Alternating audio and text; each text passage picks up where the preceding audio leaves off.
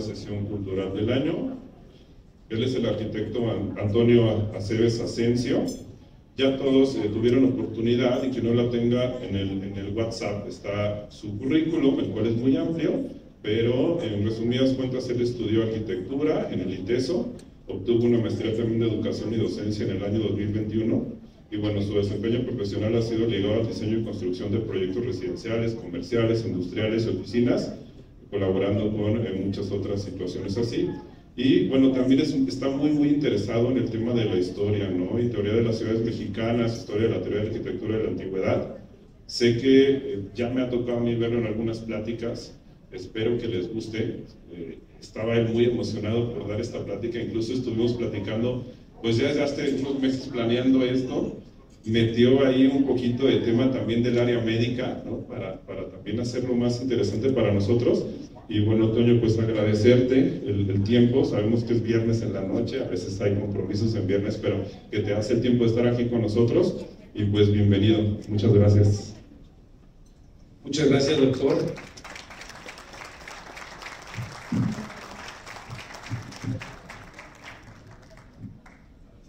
¿Se escucha?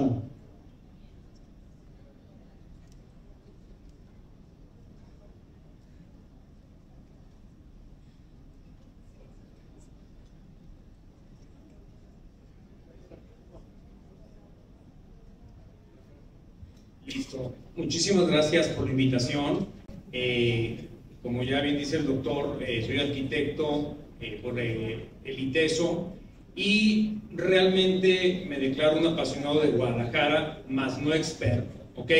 Entonces, esto es lo que yo vengo a invitar, vengo a hacer una plática más que nada reflexiva, más que datos súper académicos, es simple y sencillamente una plática para invitarlos a la reflexión y qué mejor el mes de septiembre, el mes patrio, para traer al recuerdo eh, cosas hermosas de una Guadalajara que estamos día a día perdiendo a pedazos.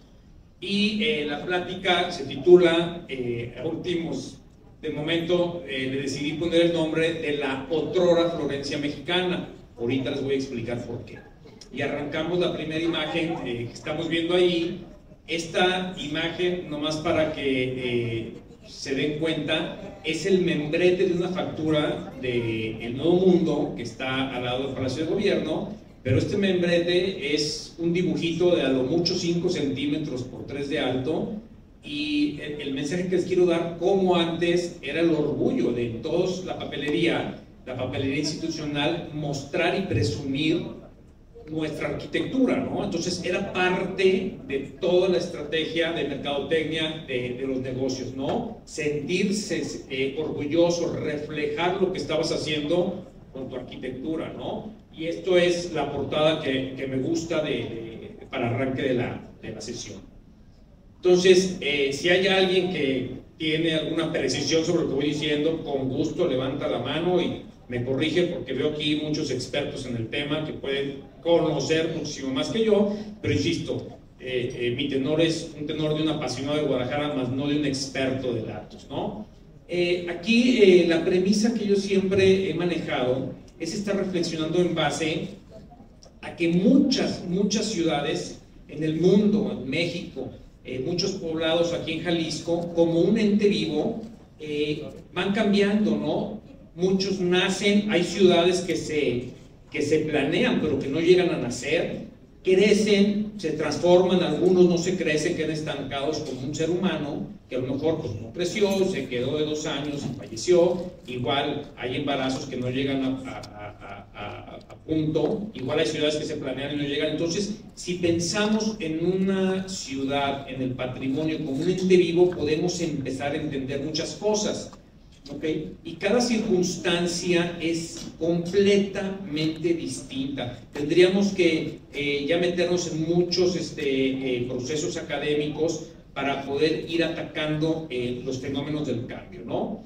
Y Guadalajara, eh, pues, ¿qué creen? Su vocación comercial hizo que el propio tapatío, este, en un afán de estar a la moda con lo que ellos promovían, eh, pues fue renovando toda la ciudad. Entonces, si ustedes analizan una ciudad minera, la ciudad minera no cambia y cuando llega este furor de modernidad, en las ciudades mineras ya la gente había migrado a Estados Unidos y gracias a eso conservamos un Zacatecas, un Guanajuato intacto, porque cuando llegó este afán modernizador, pues no había dinero, no había gente. Y en Guadalajara, cuando llega el furor modernizador y de, de meditar lo antiguo, pues había muchísimo dinero y fue una catástrofe para la ciudad, ¿no? Entonces, ahora estamos platicando de un legado efímero porque nuestra ciudad, nuestra zona conurbada es una ciudad de moda. Ustedes lo podrán entender en casas en donde viven en fraccionamientos, no estamos contentos y queremos estar renovando nuestra casa, queremos estar renovando el automóvil, queremos estar renovando la vestimenta. Entonces, si desde ese punto de vista analizamos la ciudad, lo vamos a entender perfectamente. Y eh, prácticamente el objetivo de esta charla, aparte pues, de divertirnos, es este, estos dos puntos, ¿no? Hacer conciencia de lo que ya sucedió, ¿ok? Mostrando testimonios para poder aprender de nuestros eh, errores y también aprender de nuestros aciertos. Yo como eh, maestro de asignatura en el ITESO imparto un taller eh, de contexto y patrimonio cultural y la materia, la asignatura de historia y teoría de ciudades mexicanas y es increíble, increíble que en dos generaciones se borra por completo una memoria que debería de permanecer, ¿no? A mis alumnos les platico del 9-11 en Nueva York, no tienen ni la menor idea. Les platico las explosiones del 22 de abril, ni la menor idea tampoco.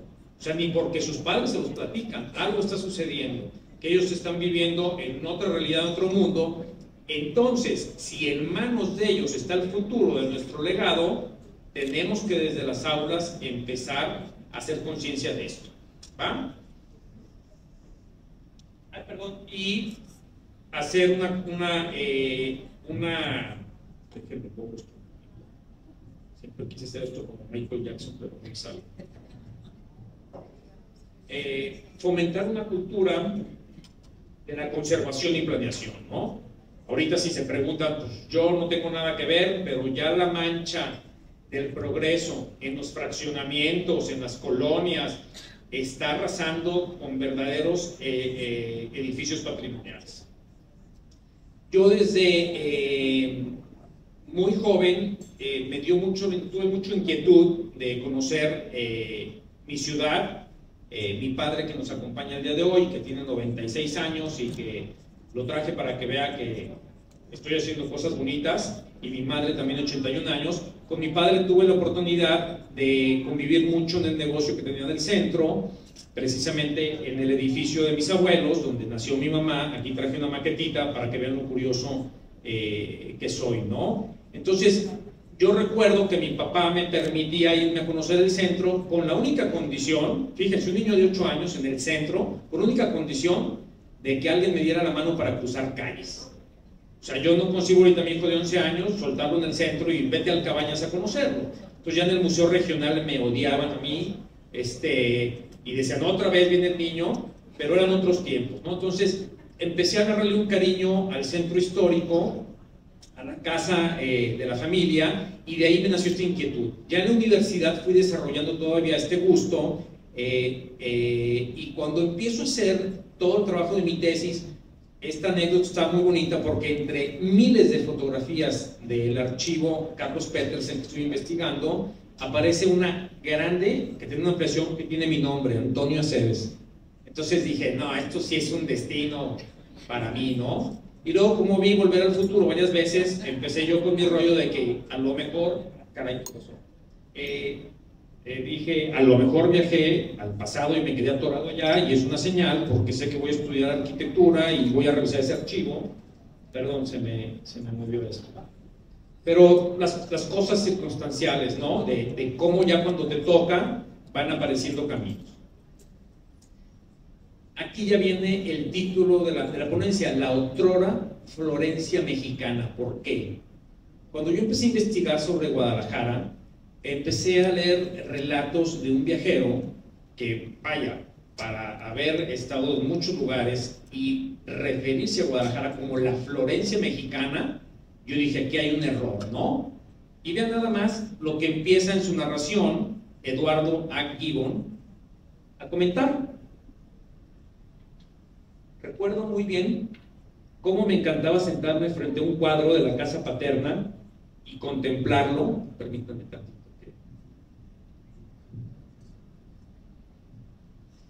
y, contemplar, y contemplarlo detenidamente. Él lo dice desde niño, era mi cuadro favorito porque era el que más me impresionaba. Yo, estudiante, leía esto, no entendía a qué se refería, y continúa, aquel cromo litográfico con sus tintas especiales representando el valle de Temajac, con su cordillera caprichosa, con sus remolinos de polvo, levantándose en columna espiral como espectros del pensamiento, pues yo decía, ¿a qué se refiere esta persona? Porque eso no existe.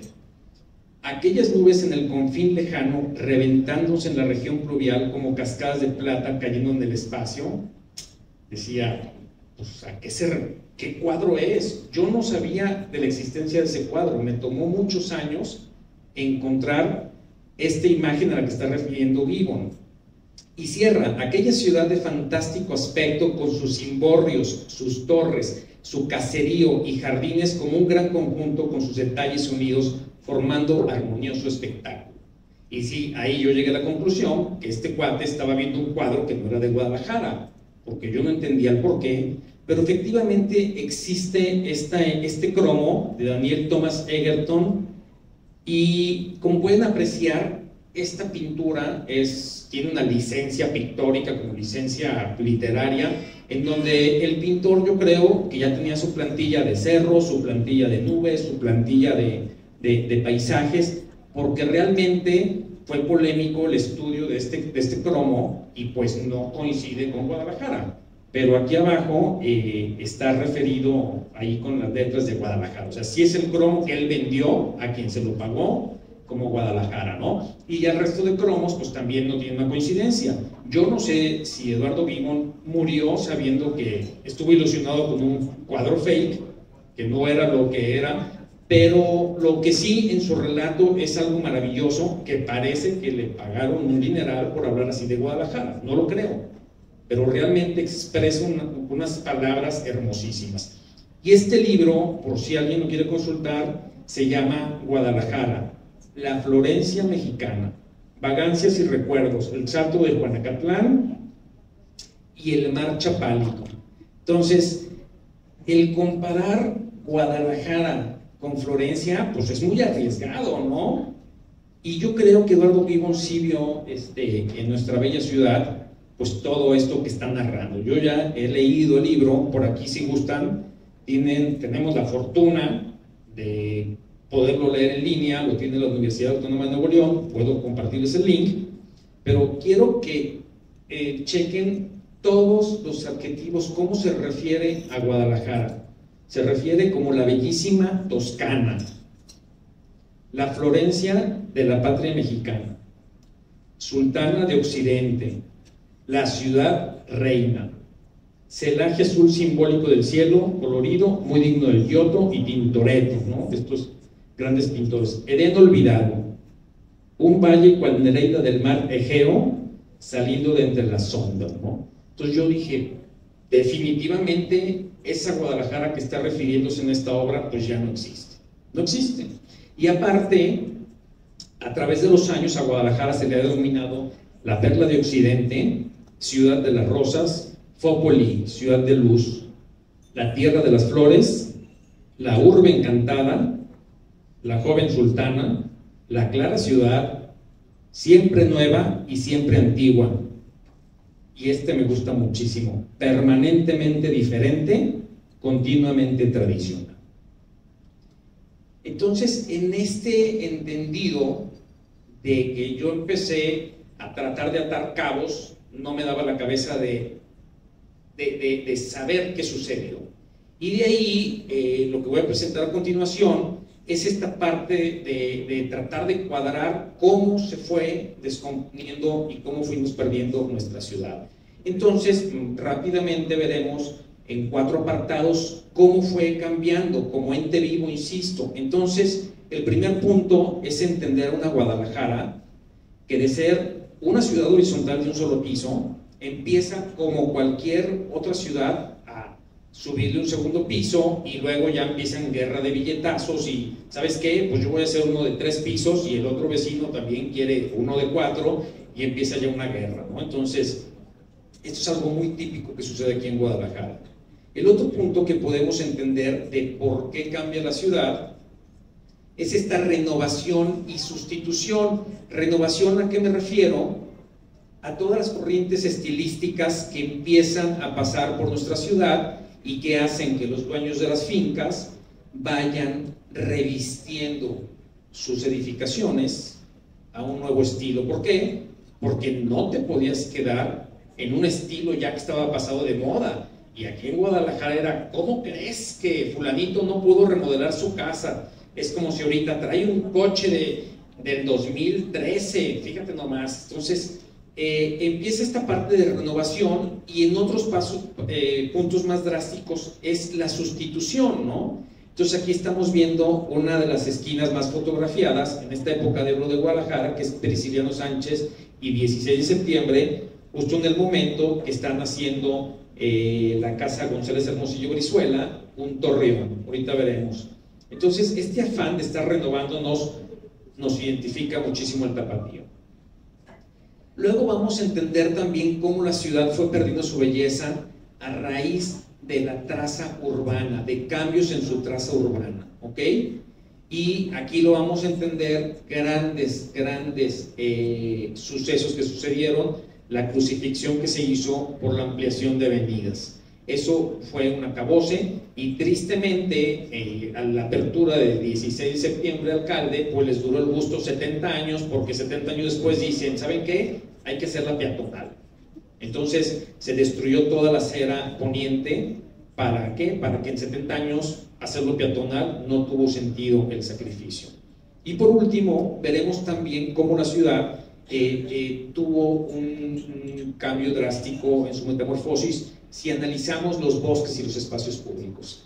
Entonces, pues eh, vamos dándole porque es, es extenso esto, me tomaré un tiempo para ya cortar en algún momento. Si alguien gusta hacer una pregunta o la dejamos al final, lo, lo dejo en consideración. Entonces, el primer punto es entender la Guadalajara eh, horizontal, que era una ciudad bellísima. ¿Por qué es bellísima? Porque tiene que resaltar perfectamente lo que es jerárquico. ¿Qué es jerárquico? Pues las torres de los templos, que eran como se comunicaban en ese entonces, ¿no? Con las campanas. Hay todo, todo, todo este, un protocolo de toques de, este, cuando alguien está agonizando, cuando fallece, cuando eh, es la misa del, del Angelus. Entonces, por eso lo principal y la jerarquía eran estos edificios religiosos y los campanarios.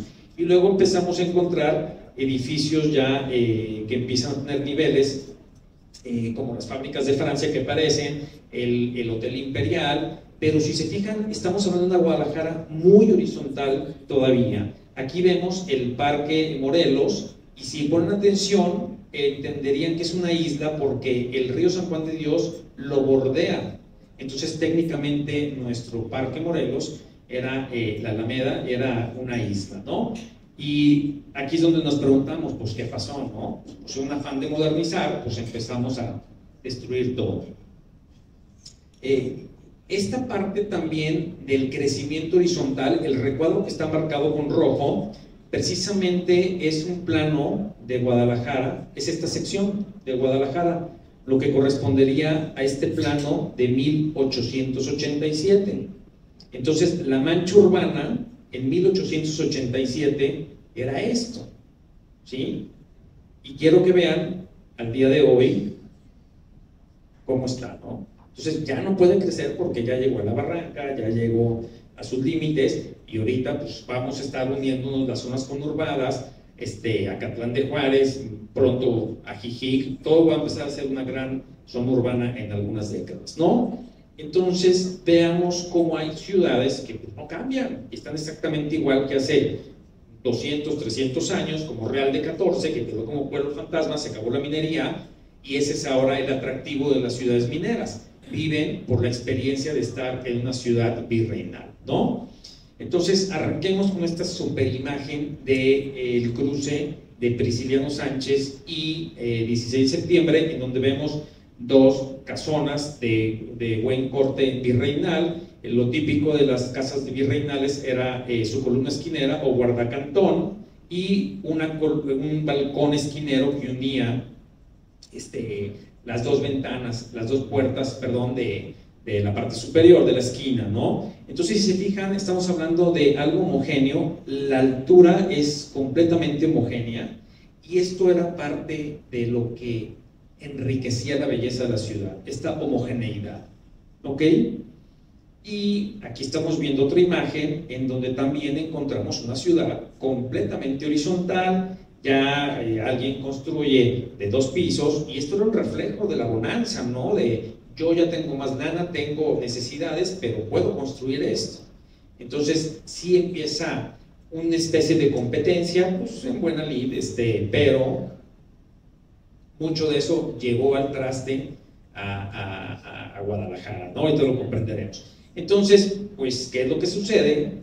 Con los muros anchos que existen en las casas, pues podías darte el lujo de empezar a crecerla. Aquí tenemos la misma perspectiva de 16 eh, de septiembre alcalde, en donde todavía apreciamos casas virreinales, ¿no? Y ya en la, en la siguiente secuencia ya cambió esta casa virreinal, que la característica es su sobriedad, si se fijan, no tiene más que una pequeña cornisa, como si con una carcha le hubieran quitado todas las molduras, ¿no? Esto es muy virreinal. Y acá tenemos algo muy producido, muy neoclásico, ¿no? Muy académico.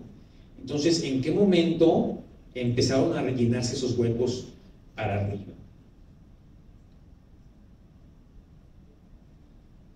¿Alguien ubica la casa de los perros? Pues se la presento, aquí está la casa de los perros. ¿Ya la vieron? ¿Sí es esta? ¿O le hace falta algo? Bueno, el segundo piso. Y la historia de esta es bien bonita. Anita González Rubio pidió para casarse con don Jesús Flores, porque don Jesús Flores estaba insistiendo y entre las hermanas ahí estaban, ándale Anita, a ti te toca y corre, no sé cómo habrá sido la historia para hacerle este, un tinte de novela, y ella como condición pone, si me construyes la planta noble arriba, con una terraza viendo al, jardín reforma, va.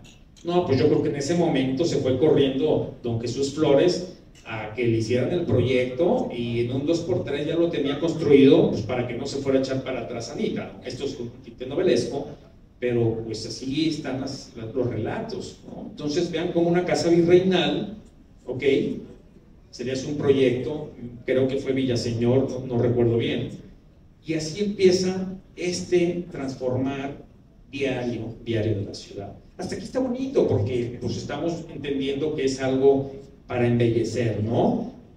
En Guadalajara éramos una ciudad cosmopolita, teníamos información de cualquier parte del mundo teníamos productos de cualquier parte del mundo en la época, principios del siglo XX, primeras décadas, teníamos música de cualquier parte del mundo, Caruso, tenemos discos de Caruso, tenemos los mejores perfumes, tenemos las mejores revistas, porque ya el vapor permitía, permitía traer eso tanto de Europa como de las Filipinas, ¿no? Entonces, había muchas revistas, hay revistas de principios de 1900 que tienen eh, sellos de casas de Guadalajara que las distribuían.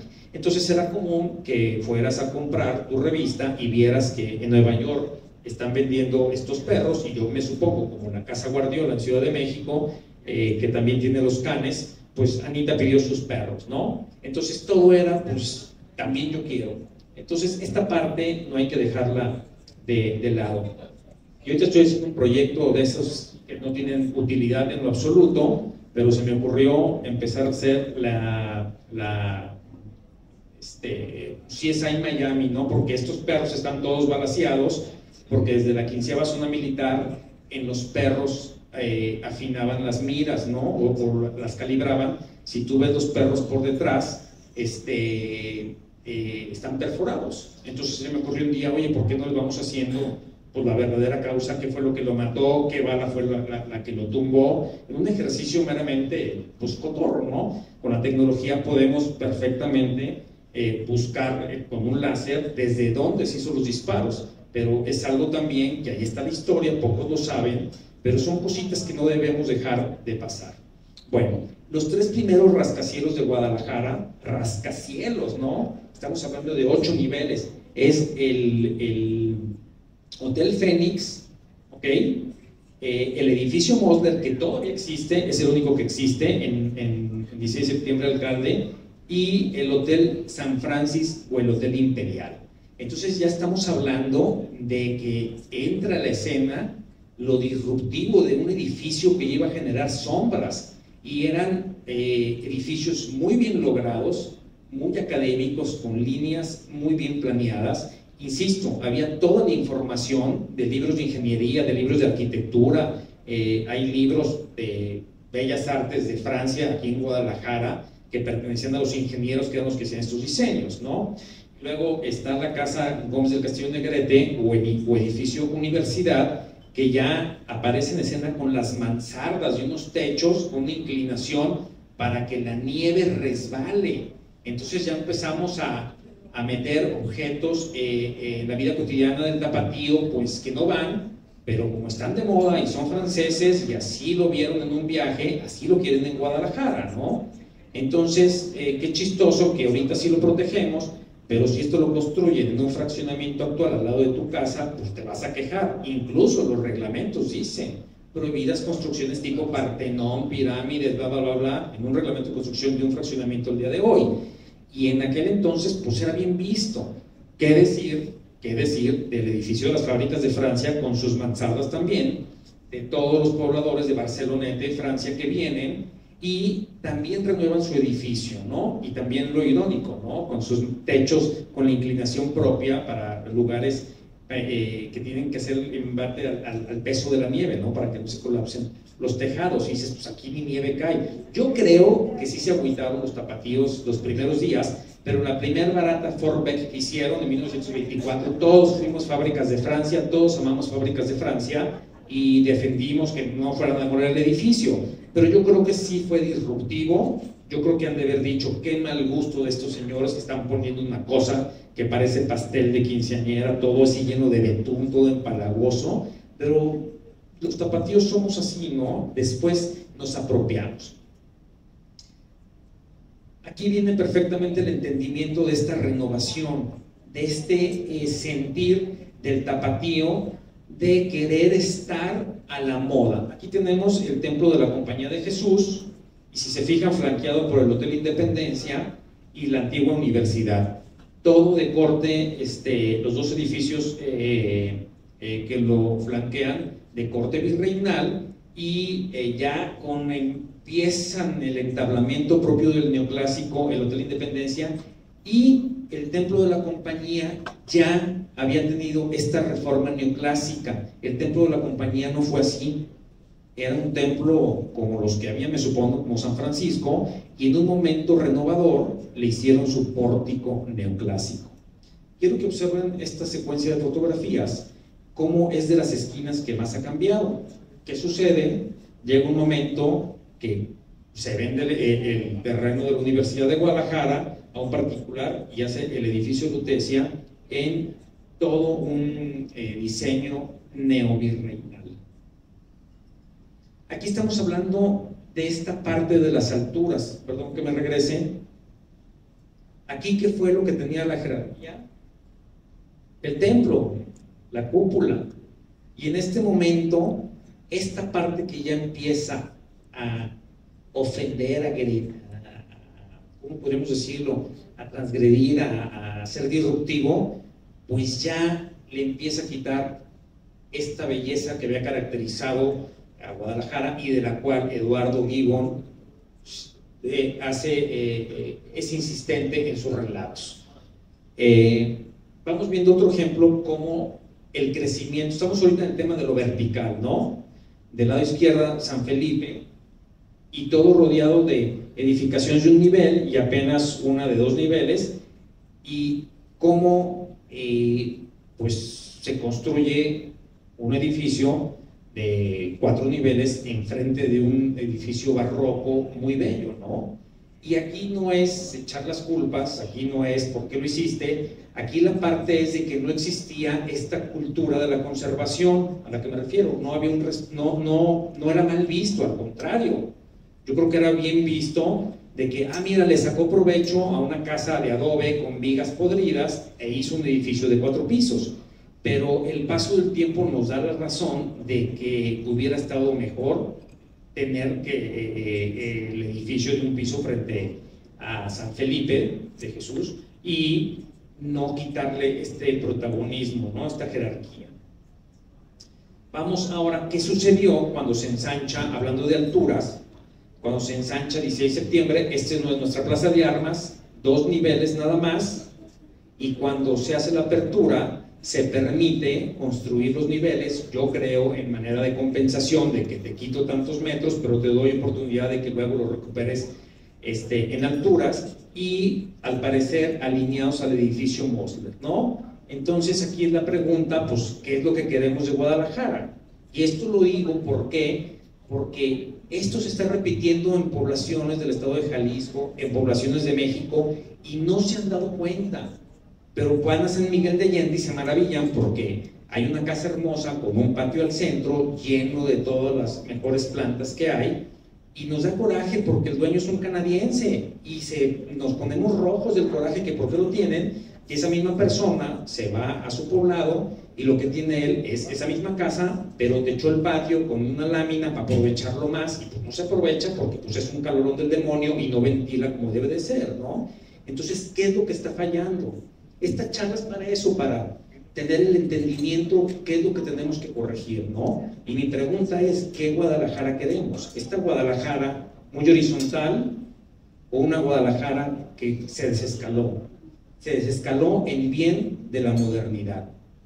Entonces yo creo, mi padre me dice que pues no era mal visto. O sea, los únicos que se quejaron fueron los dueños de las propiedades que les este, pusieron el impuesto de plusvalía, les demolieron y fue todo un relajo. Y el escombro lo tenían que tirar, creo que en Alcalde Barranquitas, para rellenar y luego ya se urbanizó eso, ¿no? Entonces, pues todos los demás lo vieron como progreso, como que la ciudad iba a modernizarse y no era algo, pues digamos así como que sacrilegio. Ahorita sí lo vemos como sacrilegio. ¿Ok? ¿Qué es lo que está pasando el día de hoy, en el 2023? La colonia americana, obrera, Chapultepec, Lafayette, todo este perímetro que está lleno de magníficas expresiones eclécticas de todos gustos, sabores, colores y tamaños, que identificaron esta colonia eh, y la siguen identificando y ahorita está catalogada como de los lugares más bonitos para vivir, ¿en qué momento se liberan los coeficientes de ocupación de suelo, de utilización de suelo, las alturas y empiezan a construirse edificios, ¿no? El problema no es ya de 1948 que se amplió Guadalajara, el problema lo tenemos el día de hoy, el día de hoy esto es lo que está sucediendo en esta parte, que toda esta riqueza arquitectónica está siendo opacada. Y una que otra casa que se cae sin querer porque no hay permiso para demolerlas, entonces no abona, no abona a la búsqueda de una casa, ¿no? Esta es la casa Gleason y pues la ley te permite, te permite eh, construir tantos niveles y es muy complicado. El dueño de la casa pues, quiere sacarle provecho, los que nos gusta el patrimonio queremos que no se toque, pero el dueño dice, pues ¿y de qué vivo? ¿Y cómo la conservo? Y tú me das para mantenerla y todo el mundo quiere que hagamos museos y galerías. Es una situación sumamente complicada. Este otro ejemplo también es interesante. Eh, aquí estuvo la, la ISARC, la Escuela Superior de Arquitectura, en Lerdo Tejada, y también eh, se yo creo que se pretendía este, derribar para hacer un edificio, llegó a una negociación que se construyera la torre en la parte de atrás, si no me equivoco, si hay alguna imprecisión y alguien lo sabe y levanta la mano y dice arquitecto, no fue así, fue así. Entonces, y pues bueno, el resultado es empezar a construir las partes traseras de las casas y respetar el frente para no alterar la imagen urbana del peatón, del automovilista. Y pues dices, qué bonito se ve, ¿no? Pero cuando al lado de tu edificio, que compraste este departamento porque tenía una vista espectacular y pusiste los ahorros ahí, te construyen otro lado, pues ¿qué va a pasar, no? Entonces, pues, pues ¿qué, sigue, no? Este, esta está, creo que ya, esta también algo pasó, ¿qué es lo que queremos? Entonces, esta primer serie de fotografías habla de este cambio, de esta metamorfosis, de cómo Guadalajara, al crecer horizontalmente y crecer verticalmente, pues ya fue perdiendo su belleza y esto le da el título a la ponencia del día de hoy, la otrora Florencia mexicana. Bye, se acabó. ¿Va? Ahora vamos a ver otro capítulo interesantísimo que se da en Guadalajara en este afán de modernizar, ¿no? El primer estilo arquitectónico que llega a escena para querer modernizar la ciudad fue el neoclásico, y llega con la Casa de la Caridad y Misericordia, hoy conocido como eh, Cabañas, el Instituto Cabañas, el Hospicio Cabañas, y se construye eh, ya en todo un este, orden completamente académico, que es lo que está pidiendo el neoclásico. Esto fue en 1805 y quiero que observen cómo de ahí, como dominó, empezó toda esta renovación, luego con el Sagrario Metropolitano, en 1808, al estilo neoclásico, el Templo de la Compañía en 1827, ¿ok? Luego el Teatro de Gollado, que no sé por qué este, en esta imagen de la Enciclopedia de la Ilustración Española y Americana de 1887 no aparece el degollado, no, no, no, no sé por qué. ¿Ok? Y luego tenemos eh, el Tribunal de Escuela de Jurisprudencia, que es este. Si se fijan, todo muy en el orden neoclásico. Y luego la penitenciaria de Escobedo. Entonces, ¿qué pasa al, modernizarse la ciudad en estos edificios públicos? Pues ya las que, los que tienen edificaciones en el centro también quieren que su casa virreinal, muy sencilla, también esté en un canon eh, de orden neoclásico, ¿no? Y aquí es donde empieza también el cambio de Guadalajara, de una ciudad muy sobria, de unos marcos de puertas y ventanas anchos, a hacer eh, todo un reacomodo, una repartición muy, muy a medida, muy estudiada, y luego eh, ponen mucho énfasis en hacer más esbeltos los marcos.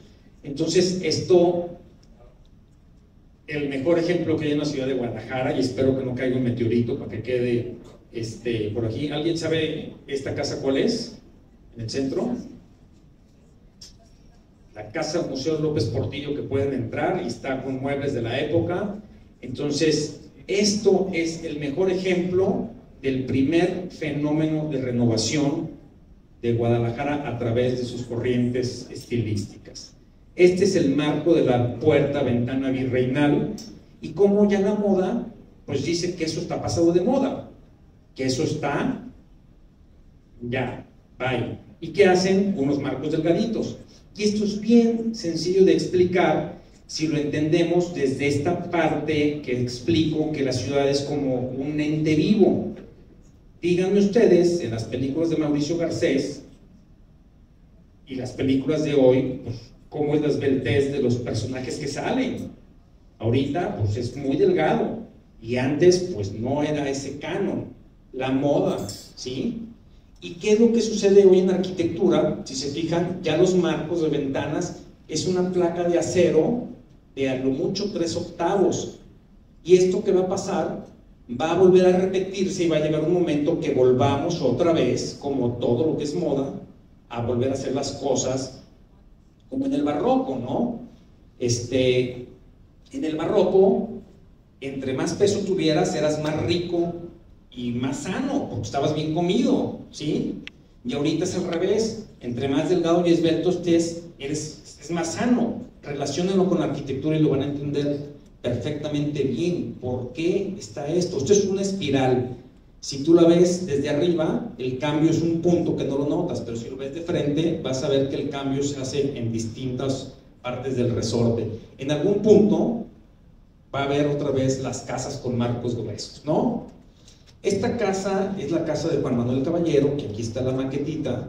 Esta casa en algún momento fue virreinal y cuando aparece toda esta corriente neoclásica de poner los frontis triangulares, semicirculares, pero sobre todo esto es la parte que lo hace diferente del neoclásico.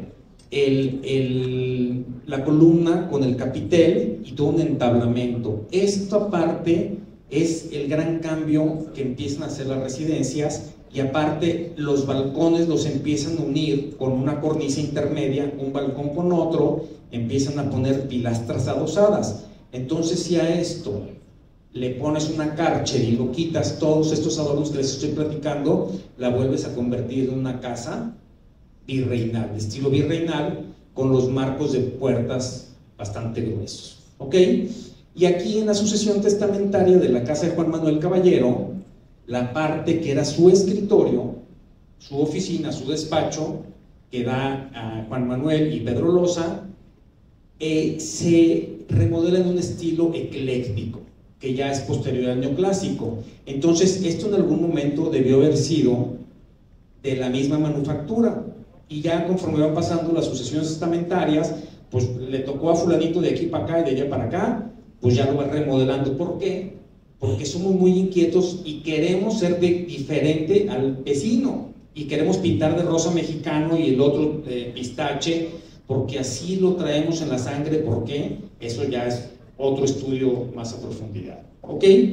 Esta columna está exactamente en el interior del despacho, en esta parte, y tuvieron el gesto magnífico de dejar la mitad columna toscana, como si fuera el virreinato, y la otra mitad ya aderezada con este orden eh, ecléctico, ¿no? Y aquí está eh, presente. Esta casa pueden ir a tocar y pueden tener la fortuna que les permiten el ingreso, está muy interesante también. Ojo, no es la casa donde dormía Juan Manuel Caballero, porque han repetido una mentira miles de veces, me atrevo a decir miles de veces, en redes sociales, diciendo que la casa de Juan Manuel Caballero es esta. Era de su propiedad, pero ese era el escritorio, su despacho, donde él dormía era aquí. Eh, yo hice mi, tesis de este edificio, lo conozco perfectamente bien, mi madre nació en esa casa, yo la conocí todavía hasta el 1976, mi hermano hizo su, su tesis de maestría, la conocemos a la perfección, la historia, y lo chistoso, para que vean el poder de las redes sociales en malas manos, han repetido una historia a tal punto que nuestras publicaciones, que hablamos de la casa de Juan Manuel Caballero, dicen, hay quien culto los arquitectos, esa no es la casa de Juan Manuel Caballero, se equivocaron de calle, la casa es esta, ¿no? Entonces vean el poder de una red social diciendo una mentira y luego va a un youtuber, graba un video, lo sube, tiene un chorro de reproducciones, de ahí se cuelgan otros, entonces qué manera tan triste de desvirtuar la verdad, ¿no? Entonces, por ahí tenemos copia del testamento y ahí aclara perfectamente, hay libros que dicen perfectamente que esta es la casa de Juan Manuel Caballero, Juan Manuel Caballero fue una persona eh, benefactora a tal grado que en la independencia eh, degollaron a la gran mayoría de españoles y a él le dijeron, espérame, a él no lo toquen porque ha sido un gran benefactor.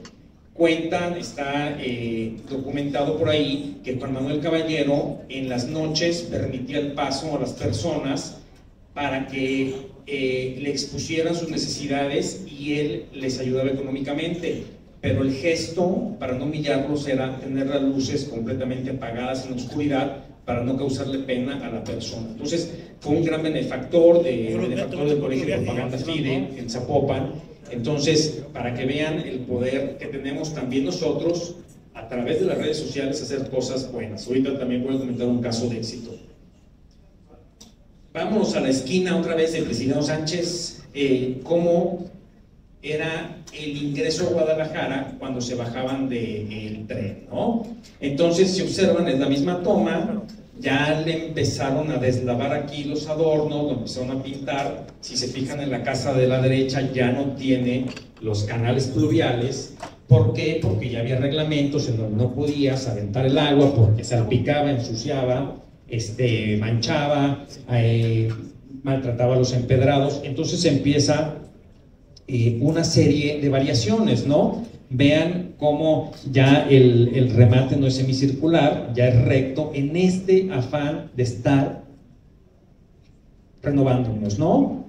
de tener un saco y decir, pues ya llegó la otra temporada, me compro otro. Y a lo mejor alguien mayor va a decir, pues oye, pero todavía sirve, está súper bueno, ¿no? Sí, pero ya salió otro nuevo. Vean cómo van cambiando muchos detalles. Aquí también ya los canales pluviales ya no existen. Las ajaracas, que era la única, yo creo, casa que tenía ajaracas en la ciudad, pues también este, eh, se eliminaron.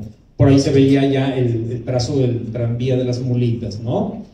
Y ahora agárrense porque esta secuencia de fotografías está fantástica, ¿no? Otra vez la plaza de la universidad, el edificio de la universidad, el Hotel Independencia y el Templo de la Compañía. Y miren nomás, el Hotel Independencia Virreinal lo remodelan a neoclásico, ¿ok? Eso sí, los tapatíos, va a haber un chorro de fotos con letreros de cervecerías por todos lados. Eso era lo que flanqueaba nuestra ciudad, los letreros de las ferreterías. Y quiero que observen con detenimiento esta misma esquina, segurísimo en una asociación testamentaria, nomás dejaron tres ventanitas originales y el resto lo adecuó a un estilo que se llama Art Deco. ¿Ok? ¿Por qué? Porque quería ser diferente. O sea, ya nos tocó, ya nos dividió hermano, bueno, bye. ¿Ok? Y yo le voy a pintar de morado y tú de rosa, pero aparte la voy a cambiar de estilo. Y si se fijan, son los mismos vanos, las mismas ventanas.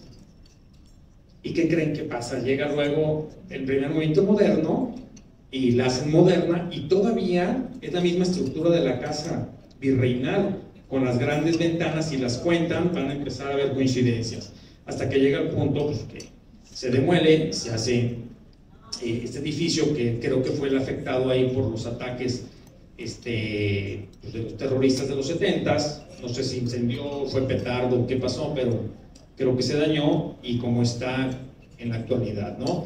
Entonces, la misma esquina, seis, seis variaciones de la misma esquina, ¿no? Y aquí le ponemos foco a eh, la universidad, como la universidad empieza a decorarse al estilo neoclásico, ¿ok? Y pues va perdiendo por completo esta sobriedad del el estilo virreinal, después se vende a un particular que hace el edificio Lutecia, y el edificio Lutecia está ya en un estilo neocolonial o neovirreinal, que era todo un movimiento que pretendía darle identidad al pueblo mexicano verdadera y no la identidad que nos había Porfirio Díaz. Entonces, esto era en contra completamente de todo el ecléctico, de todo el afrancesamiento que se había dado en la ciudad, de edificios que tenían algún dejo de la escuela de, de, Chicago, de, este, Inglaterra. Entonces, bye, se busca tener la otra vez eh, identidad propia, pero pues, irónicamente regresamos a la arquitectura virreinal, que es pues, la arquitectura de España, ¿no? Por ahí se inventaron ya el neoindigenismo, pero pues a nadie le gustó tener ahí su casa con un mascarón, que todavía hay dos o tres en Guadalajara.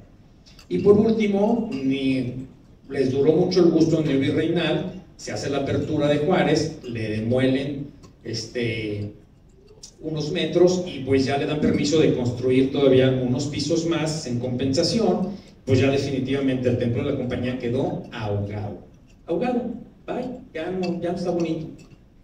Y ahorita el Dios, pues no es el Dios católico de aquel entonces, que era a quien le construyes el edificio más importante, ahora pues es el Dios comercio, el Dios dinero, ¿no? Y esta es exactamente la misma plaza, aquí era donde ve muchísimo movimiento, también eh, en la esquina, eh, vean, ya tenía una renovación neoclásica y llega un momento que se adereza completamente a una arquitectura ecléctica, ¿no? Eh, la ferretería La Palma. Este también es una fotografía del membrete de una factura que tiene 5 centímetros a lo mucho, pero vean el orgullo de tener en tu papelería empresarial, institucional, ¿ok? Tu edificio, te sentías orgulloso, ¿no? ¿En qué momento perdimos eso? No lo sé. Y luego el truco de que ponen los monitos y los cochecitos bien chiquititos para que se vea el edificio monumental, ¿no? Y bueno, se llama Ferretería La Palma, pues yo creo que pues, por La Palma, ahí me supongo, ¿no? O fue al revés y luego pusieron La Palma, pero es ponerle atención al detalle. O sea, yo siempre, ¿por qué La Palma? Y ya le hice zoom y dije, pues, a lo mejor se le ocurrió eso, ¿no?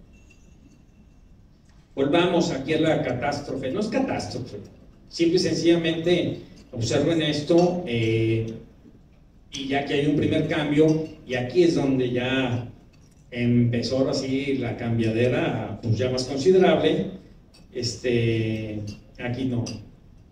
Eh, se construye eh, el torreón de Angelo Corsi, excelente ejemplo de arquitectura, y enfrente la Casa Pasos, también con un torreón. Eso sí, observen, el letrero de cervecería no cambia, eso es lo, padrísimo de esto, ¿no? Y ya después llega un momento que el edificio de la Nacional, los Singer, eh, he estado investigando y yo creo que era, pues hay que renovar todos los edificios del país donde tenemos las sucursales, pero vean qué bonito gesto de, pues no subirse más, o sea, hay un dejo de respeto que ahorita pues, sería incomprensible, ¿no? Es, hazlo y ponlo tres metros más alto del edificio de lado, ¿no? Y pues ya vean en qué terminó toda la historia, ¿no?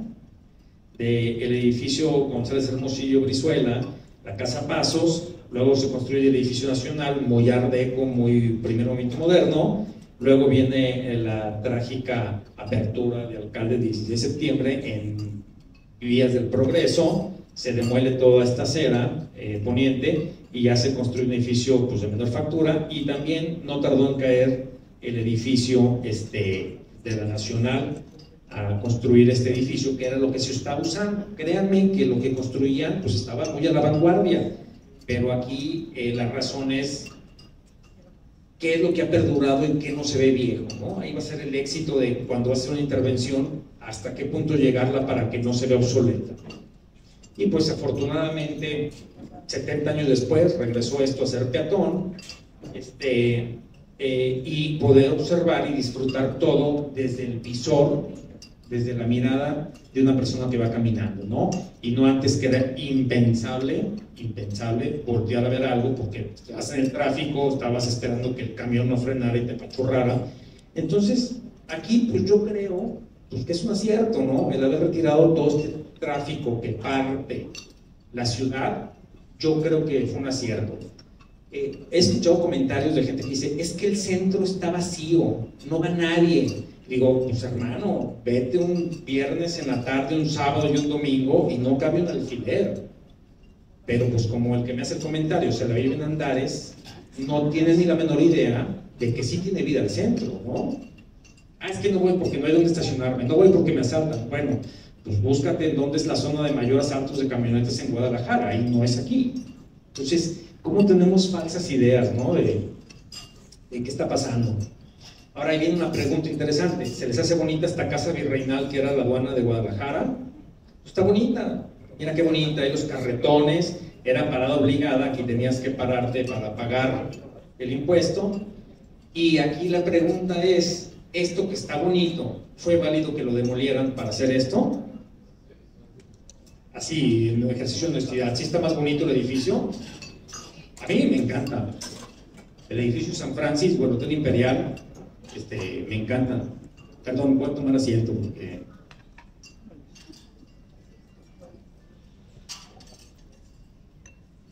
Para disfrutar también de las fotos. Entonces, les pregunto, ¿qué edificio dejarían ustedes? ¿Este o este? Edificio San Francis, ¿no? El Hotel Imperial San Francis. Bueno, ¿Y qué me dicen de dejar este o dejar este?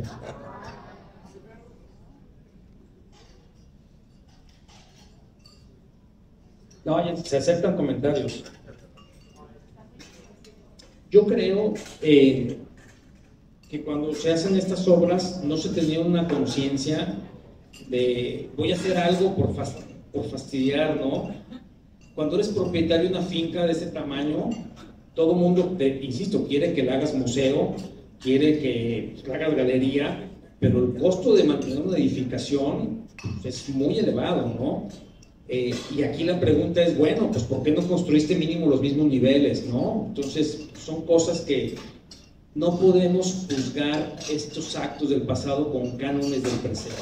¿Sí estamos de acuerdo? Por eso mi insistencia es que entiendan por cómo se va perdiendo la belleza de la Florencia mexicana. ¿vale? Este es otro membrete de los que colecciono de las facturas antiguas, una cositititita de 5 centímetros, vean qué belleza de Hotel Fénix, que era súper lujoso y tenía el primer roof garden de la ciudad de Guadalajara, ¿no? López Cotilla, exactamente. Pero el hotel tuvo éxito y se hizo una ampliación. ¿Ok? Esta es la ampliación. Y aquí sigue el hotel con porte. ¿Ok? Pero pues ya después les quedó corto y tuvieron que demoler esto para sustituirlo por esto. Y si ahorita pues traes un turista, pues se le va a hacer como, oye, me trajiste un hotel medio viejito, ¿no? No me puedes llevar a otra zona. Y yo creo que si hubieras conservado esto como hotel, al día de hoy tendrías más éxito porque lo vendes como la experiencia de estar hospedado en un hotel de principios del siglo XX. Y aquí les va una de estas cosas que el que fusiló, el que copió aquí, jamás imaginó que iba a llegar un momento de tecnología porque vean esta foto grandiosa del Hotel Fénix, construido al parecer diseñado por Juan José Barragán, hermano del famosísimo arquitecto Luis Barragán, y vean esta chulada de foto que me encontré de Bulgaria. No puede ser coincidencia que los dos hoteles se llamen Fénix y que los dos tengan lo mismo, ¿no? Yo le pregunto, ¿quién copió a quién? ¿Ustedes quién, copió a quién? ¿Quién creen? porque pues el, nombre de Fénix pues está desde principios del siglo XX, ¿no? Aquí está la, miren. Yo creo que alguien que vino de viaje vio la arquitectura de Juan José Barragán y dijo, nunca se va, nadie va a venir a Bulgaria de Guadalajara. ¿Ya vieron? Lo que se encuentra uno en internet rascándole cosas. Una chulada. Esto no es coincidencia, sí se conocían los dos que hicieron los proyectos. Vean esta super fotografía de un lugar que todo el mundo yo creo que se queja, la calzada Independencia. No, hombre, está lleno de camiones, está todo ahí que te asfixias. Este, ¿Se pueden imaginar esta calzada Independencia así, embellecida? Este, eh, he traído a catedráticos de diversas partes del mundo y les enseño esta fotografía y me dicen, claro, era del gobernador, ¿no? ¿No? Ah, entonces era del hacendado. No. Pues entonces, ¿qué era esto? Era el mercado. No, no te puedo creer. Sí, era el mercado, ¿no? No dan crédito a que esta arquitectura neocolonial o neovirreinal impulsada desde el gobierno federal, yo creo que José Vasconcelos fue de los principales pensadores de darle una nueva identidad cuando cae Porfirio Díaz, es volver otra vez a la arquitectura auténtica del virreinato. Ojo, esto nunca se dio en Guadalajara como arquitectura virreinal, es volver a la arquitectura virreinal, pero de la Ciudad de México, ¿no? ¿Y en qué momento pasamos de este padrísimo paseo, ¿sí? Con las fuentes, con las bancas, con la tranquilidad del monumento Juárez? Vean nomás, qué chulada, ¿no? A otra obra que al día de hoy es considerada una joya arquitectónica de Alejandro Son. Entonces, Ahora pues, todo el mundo se pelea de que esto lo están protegiendo y ahorita se oye, todo el mundo se pone a temblar porque dicen que quieren demolerlo, ¿no? Y que por eso el incendio. No sabemos. Pero ahora esto ya se ganó su espacio en, en, en el mundo, ¿no? Este era el interior, fíjense, del antiguo Mercado Libertad. Y Alejandro Son, yo creo que eh, tiene una muy buena lectura y análisis. Y él hace las mismas salas este, de columnas, pero de una manera contemporánea con los paraguas este, de concreto, ¿no? Entonces, qué manera tan eh, genial de reinterpretar un espacio interior. Y bueno, esta foto que todo el mundo presumimos en las postales de Guadalajara, pues no existe porque ya nada más ves los techos de lámina llenos de tierra y de zapatos. Bueno, y hablando de estas renovaciones y sustituciones, vean también en esta corriente neocolonial que yo, Antonio Cebes, digo que no es neocolonial, es neovirreinal porque no fuimos colonia, fuimos virreinato, pero todo está escrito pues como colonial, neocolonial, pero yo creo que lo correcto es virreinal, ¿no? La Escuela de Medicina de la universidad, en donde si observan la barda, pues es una barda completamente con un corte virreinal, llega este, esta oportunidad de hacer la escuela y construirla, pero si se fijan es completamente a un estilo impulsando el nacionalismo, nuestra nueva identidad. Entonces, está bonito esto? está bonito esto? Si yo me quiero sentir como, como Guanajuato, San Miguel de Allende, pues digo, pues como esto, ¿no? Pero pues esto también ya se fue ganando su lugar. Ahora, ¿quién va a ser el juez que dice, esto se queda y esto se quita? Es complicadísimo, ¿no? Observen aquí cómo está todavía el ingreso de la escuela y aquí tenemos este paramento de un solo nivel virreinal y ya cómo quedó este, la nueva construcción, ¿no? Insisto, no creo que eh, eh, existiera un dolo. En este momento esto era bien visto, era progreso, era avanzar, ¿no? Y recientemente están haciendo trabajos exhaustivos de eh, remodelación, de restauración, y están apareciendo en estas semanas unos arcos, están encontrando vestigios que ya dan pie para otro tipo de investigación. Este, entonces hay que estar al día viendo qué está sucediendo y pues lo ideal, hablando del hospital civil, es que esto debió de haber sido, junto con el Cabañas Patrimonio de la Humanidad, ¿y por qué? ¿Con qué razonamiento? porque el Cabañas se hizo declaratoria de Patrimonio de la Humanidad, pero ya no tenía el uso para el que fue construido, que fue Casa de la Caridad. En cambio, el Hospital Civil, hasta el día de hoy, sigue trabajando ininterrumpidamente, al parecer, desde que abrió sus puertas, para el mismo uso para el que fue creado. Entonces, esto es increíble que siga estando en pie y que eso sea eh, un patrimonio que tenemos todos aquí eh, tangible, ¿no? Aquí por aquí traigo unos ejemplares eh, que hablan ya de la declaratoria, se acaban de publicar hace dos o tres semanas, de todo el trabajo que se hizo respecto al hospital civil.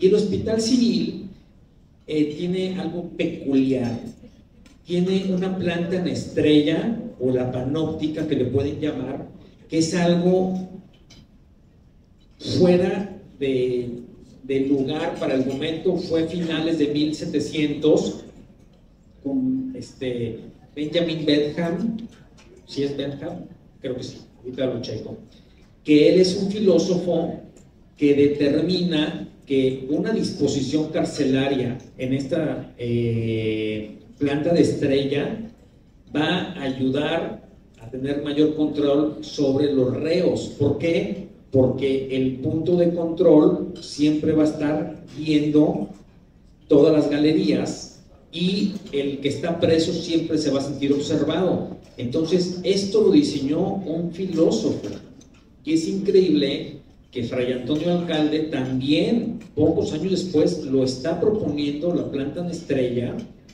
No sé si él, eh, esto, soy honesto, no sé si él estudió todos estos estudios que, se hicieron de la estrella o llegó a la misma conclusión, no sabría decirles, pero el punto es de que funcionó, funciona y yo creo que seguirá funcionando.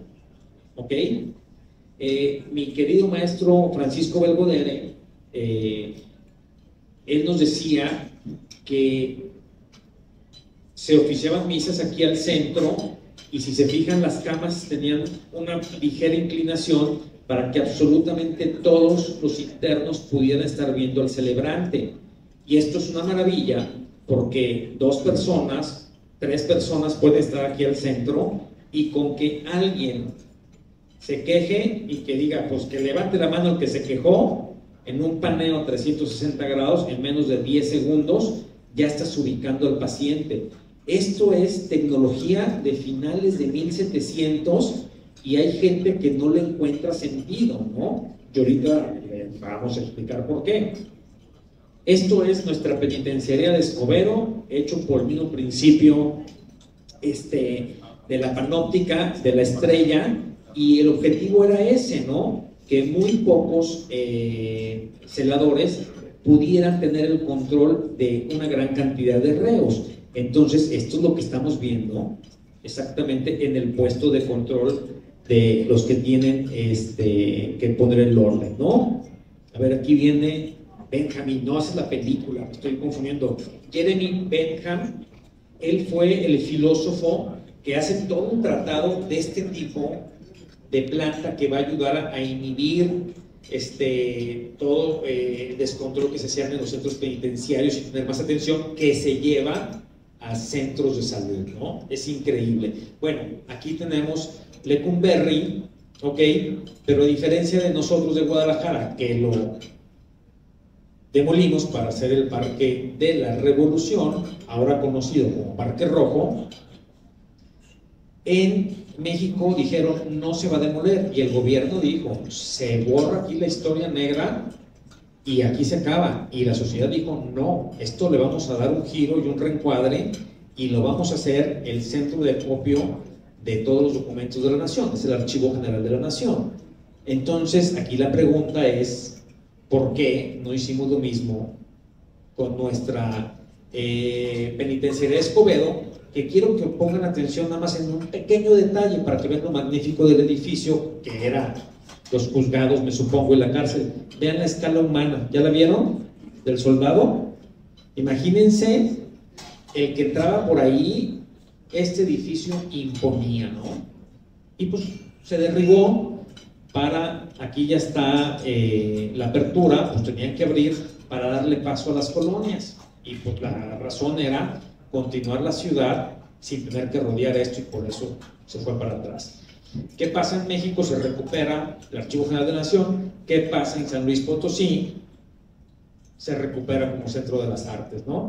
Pero en Guadalajara lo derribamos. Esto es en San Luis Potosí, ¿alguien conoce? Entonces, la pregunta es, ¿por qué no exigimos? ¿Por qué no proponemos?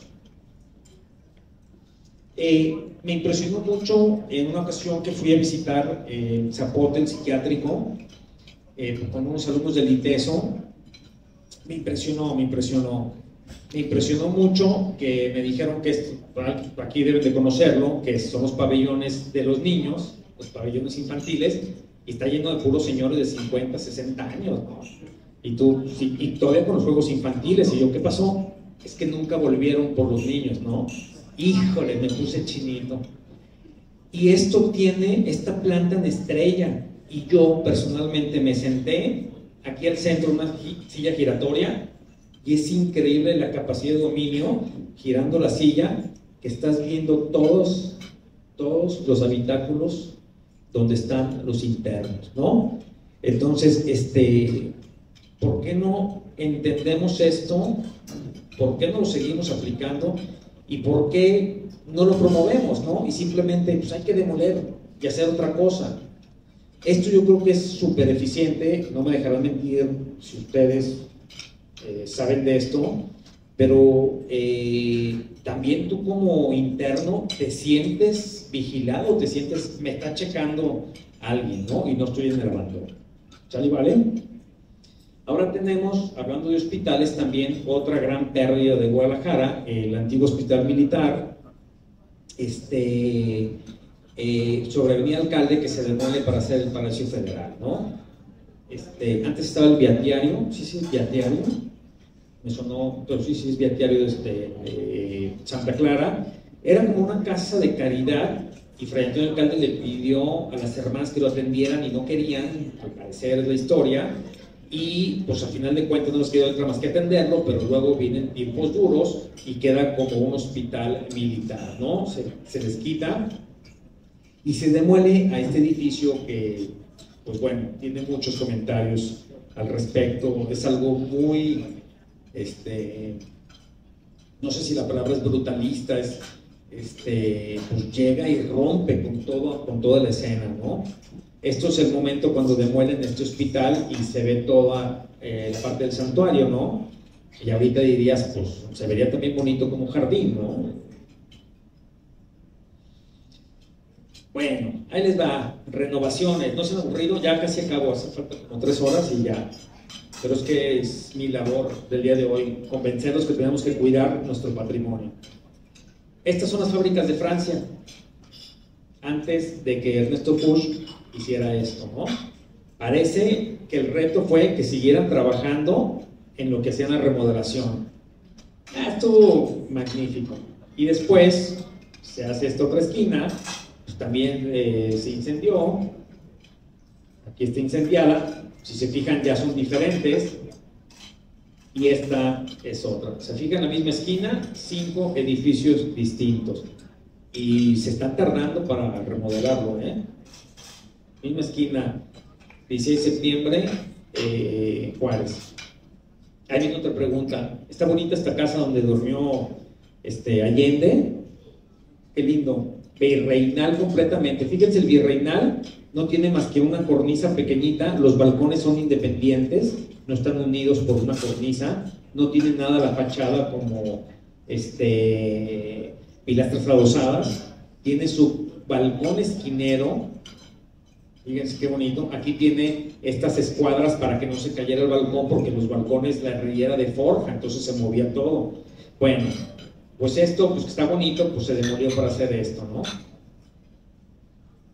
Y está hermoso el edificio del Nuevo Mundo con el que abro la presentación. Pero aquí la pregunta es, bueno, el sentido común, sentido común, si este es nuestro edificio civil más importante de Guadalajara, el Palacio de Gobierno, ¿cómo le pones al lado algo que tiene más pisos, no? Pero, insisto, no era mal visto, al contrario, era, por favor, gracias, le vamos a agilizar los permisos porque queremos modernizar Guadalajara. Y pues es lo que tenemos, afortunadamente se conserva eh, en la tesorería.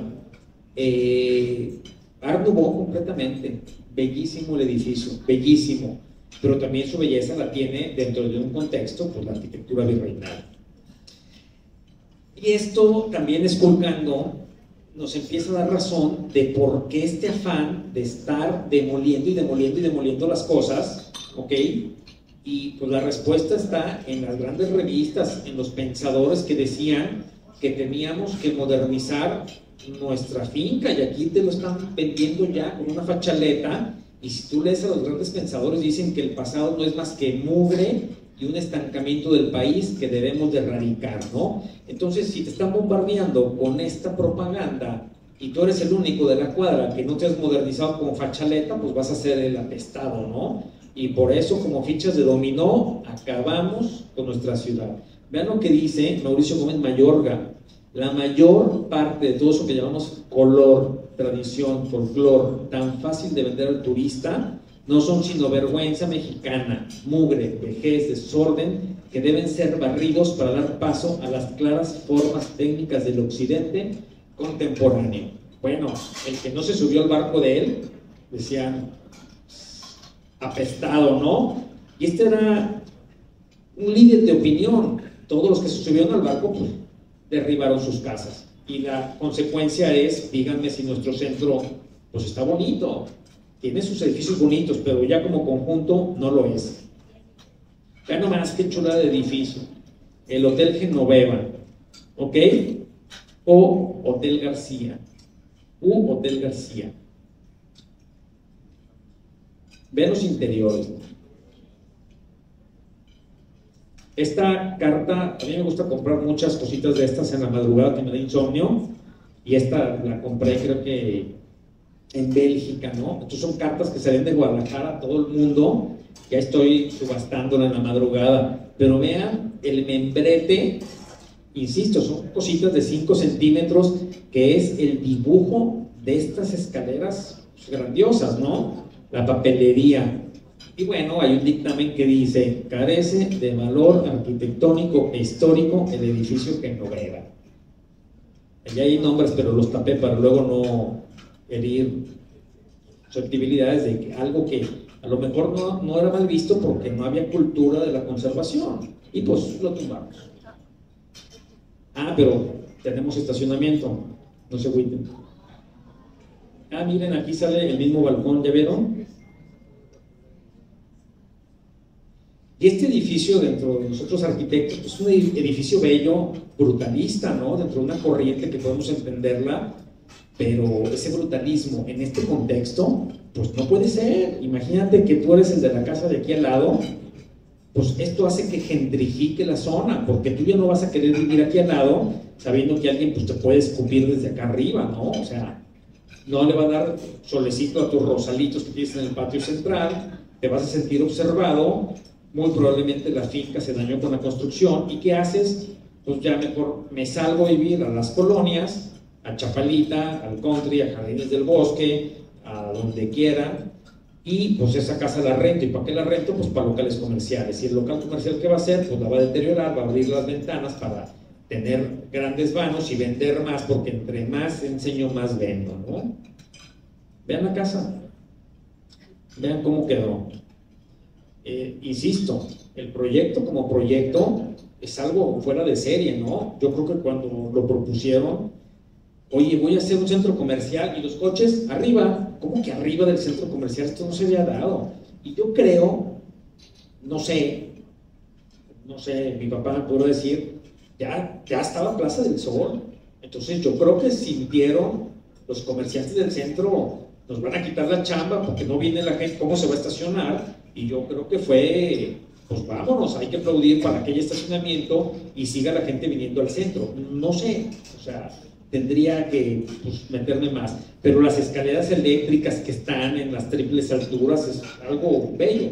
Y ahorita los arquitectos defienden esto y defienden la obra del, Mercado San Juan de Dios como patrimonio, así como los corridos de la revolución, que ahora son patrimonio, pues nosotros en 50 años los narcocorridos también van a ser patrimonio porque están dejando exactamente el momento histórico de la época que estamos viviendo. Entonces, este fue el momento histórico y va a llegar a convertirse en patrimonio. Ahí vienen otras para que... Ah, pero ya tienen pan para el susto, sí, ¿verdad? Este, el Palacio de Justicia, ¿no? la Escuela de Música. Vean más. Pero, o sea, no es así que a mí me guste Guadalajara y digas, ay, qué romántico. Bueno, vean, vean los artículos que escribían fuera de México, ¿no? Es increíble. O sea, que decían, ¿qué es eso? Es la casa del gobernador, ¿verdad? No, es una escuela. ¿Cómo va a ser una escuela? Es una escuela. Entonces, ¿cómo daban lo mejor de sí? Observen, este, el Hospicio Cabañas me comentaba, eh, cuando traje a estas personas de, Lituania, me decían, no podemos entender que esto no haya sido la casa de la persona más rica del occidente del país. Dije, no, fue construido para ser la casa de caridad de desamparados, de ancianos. Entonces, las mejores obras que tenemos al día de hoy son para la caridad, es el Hospital Civil y el Hospicio Cabañas. Entonces, vean la calidad de sociedad que teníamos antes, ¿no? Es algo magnífico. Y aquí, pues, lo triste, ¿no? Yo creo, a mi personal punto de vista, es el primer momento, de los primeros momentos históricos en la ciudad, que la sociedad, de la ciudad, que la sociedad se une para proteger el patrimonio. No creo, no tengo documentado otro momento tan fuerte como este, que la gente estaba al pie del edificio para evitar que lo demolieran. Y exactamente en la madrugada, cuando ya los agarraron cansados y, bueno, no va a venir la maquinaria ahorita, vamos a echar un bañito y a, recuperar fuerza, en ese momento llegó la maquinaria y pues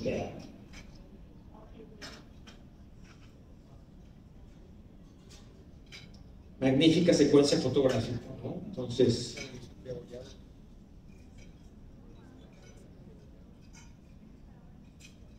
y esto lo recalqué con rojo, ¿no? Esto es un crimen. Qué barbaridad.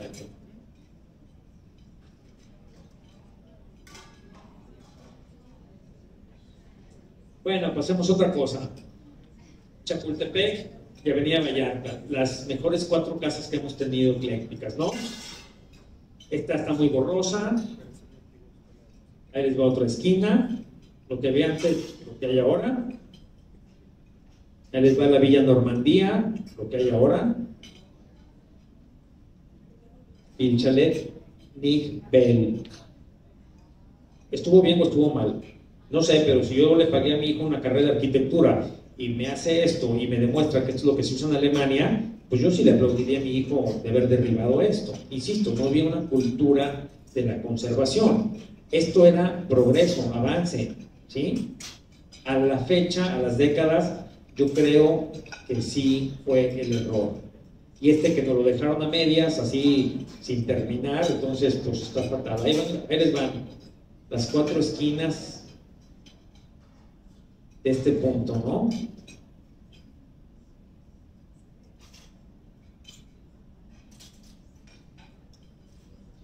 Y ahí les va esta parte padrísima de las redes sociales, fenómeno que documenté. En el 2011 se percataron que pues, eh, se iba a demoler, derribar esta casa y empezó en Facebook este, eh, pues, ¿cómo se puede decir? Hashtag, salvemos la casa. Pues no, fíjense, ni siquiera tiene hashtag, todavía no, todavía no se puede llamar así. Y se dejó venir la banda un domingo de la vía recreativa y se juntaron cientos de personas y fue tal la presión en redes sociales que pues no la demolieron, pero está deteriorándose y deteriorándose, ¿no? Que hay que hacer, trabajar con los arquitectos, trabajar con los estudiantes, trabajar con los propietarios para encontrar el cómo sí. Fácil no es, porque esto, el propietario de una finca de esta va a saber perfectamente que es tener un grillete en el pie. Es mucha, mucha responsabilidad mucho dinero y pues nadie está peleado con su dinero, ¿no? Entonces hay que encontrar esquemas, modelos de negocio en donde sí se pueden reutilizar. Bastó con que alguien pusiera su este, boutique de vestidos de novia para que viera que era famoso y se empezara a hacer un efecto dominó. La pregunta es por qué los efectos dominó no se hacen más seguido para cosas buenas, ¿no? Mira, te indigna que tumban esta casa Aquí está un momento histórico en donde queda para la posteridad la salvaguarda.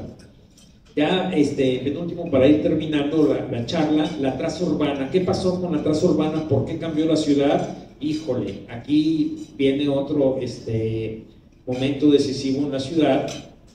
Quiero que observen cómo la ciudad estaba flanqueada por cuatro eh, conventos, claustros, edificios religiosos, ¿no? estaba eh, al, no, al sur, estaba el conjunto de San Francisco, al poniente lo que es el, Carmen, al, al norte estaba Santo Domingo, que ya no existe absolutamente nada, porque es todo piedra por piedra, eh, cayó una guerra de los tres años, y eh, ahorita está el Templo de San José, y al oriente está Santa María de Gracia y, todo lo que era el complejo San Juan de Dios. Si se fijan, la ciudad está rodeada de estos conjuntos eh, religiosos y después de la ley Lerdo, de las leyes de reforma, la ley Lerdo, que más o menos dice que tienes que liberar las vialidades y continuarlas, pues de ahí empezó esta otra masacre en nuestro patrimonio, ¿no? Entonces, se observan, eh, se abre completamente 16 de septiembre, se abre eh, en el templo de la compañía, me parece que es Galeana, y se empieza, pues a, según dice eh, la ley, a liberar las vialidades y que no fueran interrumpidas por estos edificios, ¿no? Momento durísimo. Entonces, el conjunto de San Francisco, que tenía varias capillas, pues definitivamente está San Francisco Aranzazú, la capilla de San Antonio, el Santo Cenáculo, bueno, son como seis o siete capillas, aquí está una, aquí está otra, aquí está otra, aquí está otra, era un gran conjunto, ¿no? Pues ya se toma la decisión de, pues hay que abrir, porque así dicen las, leyes que, vienen con toda la reforma, la ley Lerdo creo que es lo específico de esto, y pues pasamos de tener esto a esto. ¿Sí? ¿Como para qué? Pues ahí se los dejo de tarea. Ah, miren, aquí está. Miren, Capilla de San Roque, Capilla de San Antonio de Padua, Capilla de la Virgen de Aranzazu que se conserva, exquisito eh, retablo barroco, Capilla del Calvario, Capilla del Santo Cenáculo, Iglesia de San Francisco, Capilla del Santo Sepulcro. ¿Ya vieron todo este conjunto? Se acabó pero se tenía que abrir la vialidad. Y esto es atrás del templo de la compañía ya entrado el siglo XX, ¿no? O sea, pues no estorbaba, pero pues como quedó pendientito de, de este quedó, se les olvidó, pues todavía a principios del siglo XX, pues vamos demoliéndolo. ¿Para qué? Pues no le, no le veo para qué. Bueno, sí le veo para qué era, tenía que terminar de cumplir este, lo que ya habían este, acordado de, de, de perforar las. Pero no todo fue templos, ¿no? Aquí para vender la colonia francesa, igual que eh, la penitenciaría, pues se demuelen dos grandísimos edificios, ¿no? La penitenciaría Escobedo y la escuela del Espíritu Santo. ¿Se demuelen para qué? Para tener toda Avenida Hidalgo libre, esto es Avenida Hidalgo y Chapultepec, y esto es Juárez y Federalismo, ¿no? Federalismo va a estar por aquí. Esta es la Escuela de Artes y Oficios, dije de Espíritu Santo así también, y luego fue algo de aviación. Entonces, toda esta obra es de Pedro Loza, ¿no? O sea, es un lugar en donde cualquier persona podría llegar y decir, quiero que me enseñes un trabajo para ganarme de manera digna la vida, ¿no? Con unos eh, reglamentos súper estrictos, si fallabas en algo, te expulsaban y ya no podías este, regresar, ¿no? Esto todavía en la plena construcción de la colonia francesa era parte de la colonia francesa, ya lo ven, los chalets, con toda una nueva mentalidad de arquitectura, se llamaba arquitectura higienista, que es resultado a todas las pandemias que hay en Europa, y de tuberculosis y de viruelas, y decían, pues ¿qué pasa? Pues es que los hospitales no están ventilados, no los pega el sol, y alguien se pone a ver que el problema era por eso, ¿no? Porque no existían condiciones de higiene en los edificios y de ahí deriva toda esta manera de construir en Guadalajara que cambia por completo la manera como vive el tapatío. Ya no vives en un patio al centro, las recámaras ya no en un patio al centro, sino es al revés. El jardín rodea todas las casas, muchas de esas se conservan. Pero vean qué bonito remataba, ahí terminaba el tranvía, pero se tenía que continuar la avenida Hidalgo pues para seguir notificando, creo yo, y aquí es una vista actual, ya sin el edificio de la Escuela de Artes y Oficios. Y este es el otro que se demuele, penitenciaría para abrir el Parque de la Revolución.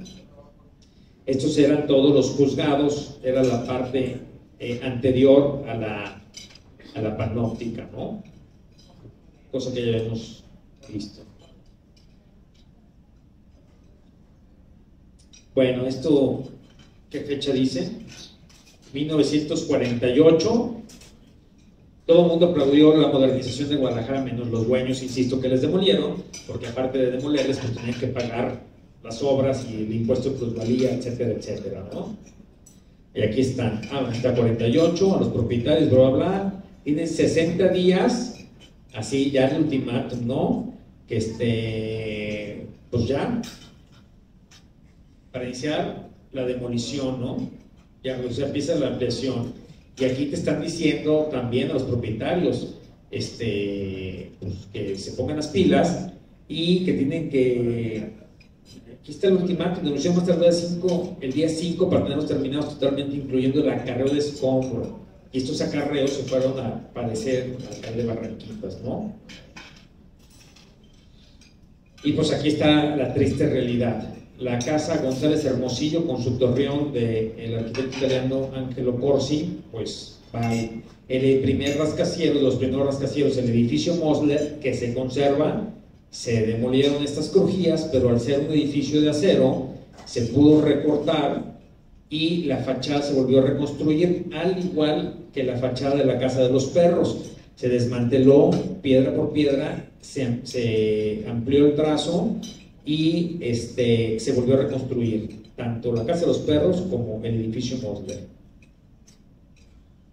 Y aquí un cotorreo de, pues fue como un serruchazo, ¿no? Un machetazo.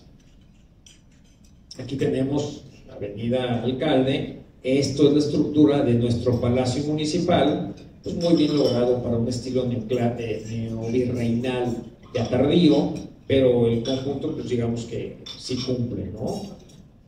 y todo lo que sucedió. Entonces,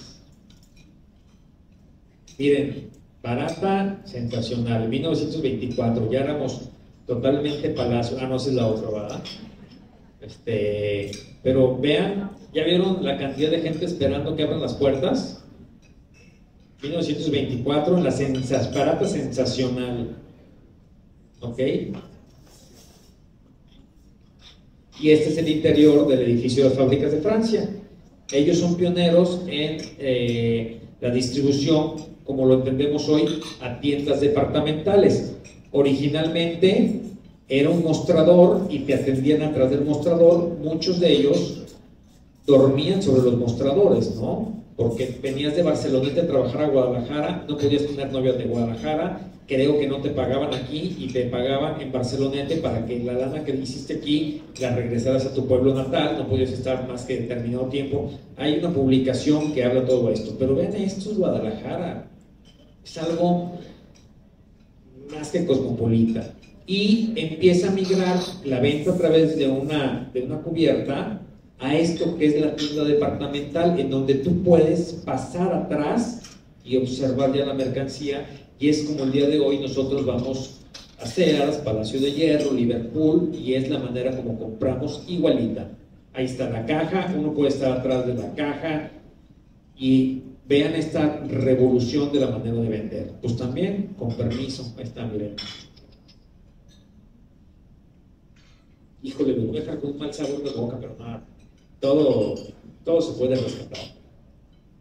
Ahí está la ampliación de federalismo, este, nuestro fabuloso mercado Corona. Vean la arquitectura, la calidad de arquitectura, y pues también pues, hay que darle paso a la modernidad, ¿no? ¿En qué momento pasamos de esto a esto, no? Y bueno, ya ahorita ya es, todavía más, más fuerte el cambio, ¿no? ¿Cómo pasamos de esta edificación a... y luego el día de hoy a esto? Y ya por último, para cerrar esta charla, eh, rapidísimo, cómo también la ciudad cambió a través de la, del estudio de espacios públicos y bosques, ¿no? Es increíble el espacio público también, cómo eh, fue protagonista. Aquí tenemos el proyecto súper polémico de la Cruz de Plazas, en donde a fin de darle un ordenamiento a la ciudad, de una modernidad, se planea de dotarle de espacios públicos y esto viene muy respaldado desde el centro del país. ¿no? Tenemos que modernizar el país. Ya no podíamos ser vistos como un país este, que no fuera industrializado, que fuera de agricultores eh, o como nos tuvieran en mente. ¿no? Entonces, eh, esta este gran obra polémica de haber dotado de esta Plaza de la Liberación, de la Rotonda, haber demolido el Templo de Soledad, la plazuela de, la catedral, pues se demolieron estas tres fincas, también de magnífica este, manufactura. Y yo creo aquí en lo personal, si tú ves la gente conviviendo aquí, eh, cómo disfruta su centro histórico, a, a, los que me dicen que nadie va al centro, los invito a ver cómo se apropian de sus espacios. Yo creo, bueno, no sé si pues, fue bien, no podemos juzgar si estuvo bien o estuvo mal, pero creo que al día de hoy le ganó, porque si no, todas las casas esas ya también se hubieran deteriorado, demolido, hechas bodegas, etc. Y esto, miren, esto fue lo que se demolió enfrente de Catedral. Díganme si esto no es estéticamente hermoso, ¿no? Entonces, esto es, eh, esta parte, miren, estas tres fincas están aquí. Entonces, enfrente de Catedral, el Palacio de Cañedo, que ese ya, ya desde antes ya lo estaban demoliendo, también una joya de la arquitectura neoclásica. Aquí está nuestro Palacio de Gobierno. Tenemos enfrente del Teatro de Gollado, este, también la demolición de las fincas de enfrente de la Casa Beitia. Esta es la Casa Beitia. Vean la portada, este, y pues se fue para abajo para darle paso a eh, la Cruz de Plazas. Y este otro proyecto todavía más polémico fue la Plaza Tapatía, donde se quiso unir la catedral, la Cruz de Plazas, con el Teatro de Gollado y el Cabañas, ¿no? También proyecto polémico. Nunca va a dejar de existir la polémica si fue bueno o fue malo, nunca vamos a poder conciliar las opiniones.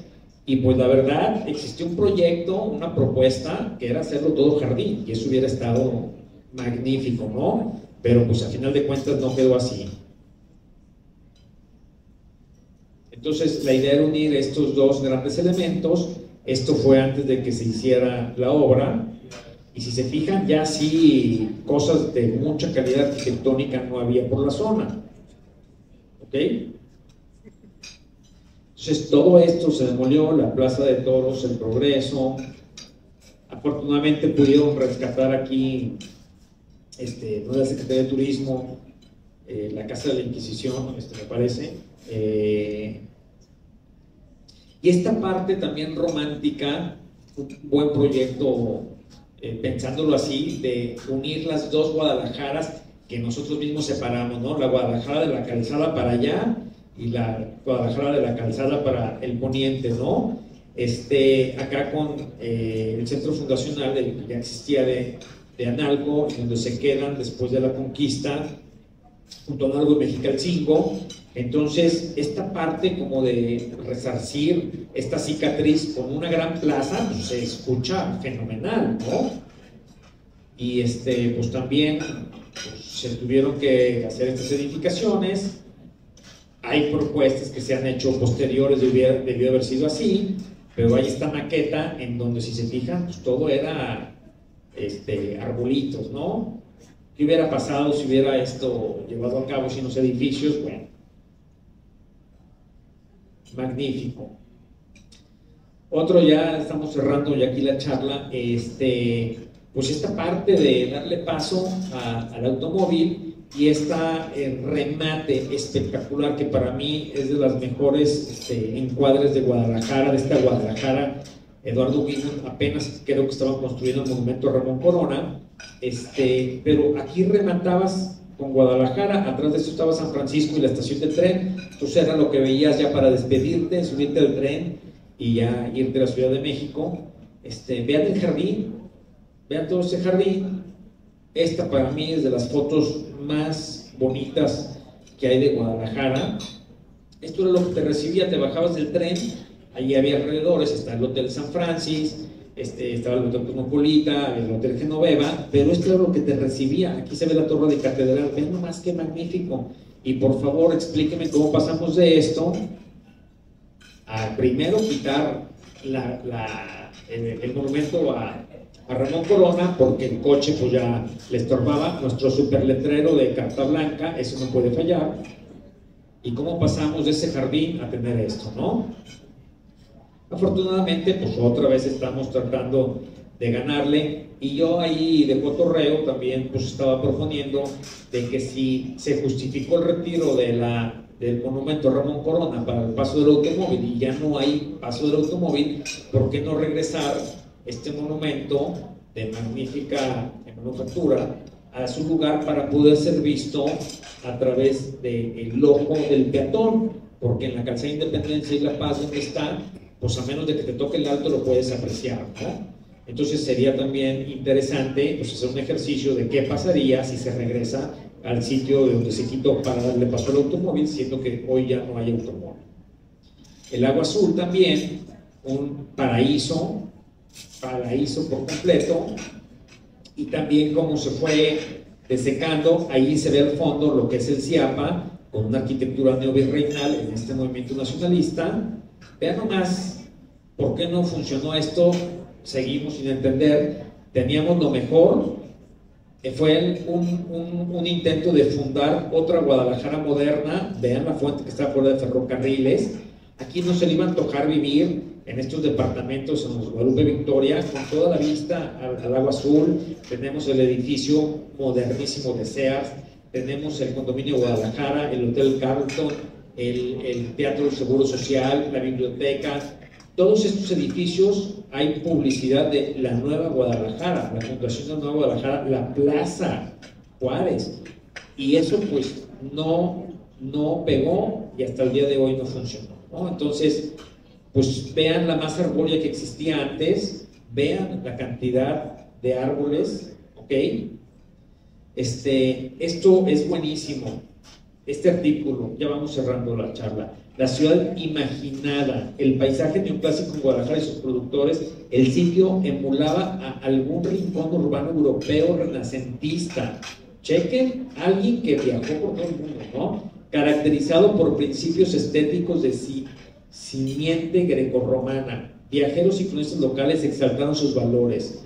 Entonces, vean cómo hay crónicas de que esto era un rincón de Europa y cómo pasamos de eso a ser el primer estacionamiento de Guadalajara. No había dónde poner los coches y a alguien se le ocurrió, pues hay que quitar esto y ahí empezamos a estacionar los coches, ¿no? Ya esto me supongo que debe haber sido telégrafos. Y al día de hoy, bueno, esta foto ya tiene algunos años. Ya cerrando el bosque de Santedubiges, vean nomás, es el camino a San Pedro de Petitlán, lo que hoy sería, yo creo, María Otero, bueno, no creo, es María Otero. Vean la masa arbórea de un bosque que fue sembrado a finales del siglo este, XIX, yo creo, eh, principios del XX, fue sembrado, este, y cómo se urbaniza, vean la mancha del bosque, ok, aquí está la mancha del bosque, y vean la misma mancha al día de hoy en Google, ¿ya lo vieron? Y lo que quedó son estos tres manchoncitos de todo el bosque, es constelación, arboledas y el Parque de las Estrellas. De todo esto, del bosque de los eucaliptos, aquí se ve, creo que estas eran canchas de fútbol que les prestaban al Cervantes. ¿Cómo se terminó cuando se fracciona Jardines del Bosque y se perdió todo? Ahí está.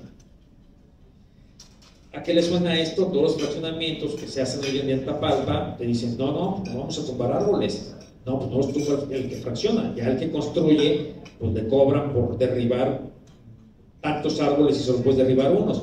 Pues en Jardines del Bosque se fueron todos los eucaliptos, ¿no?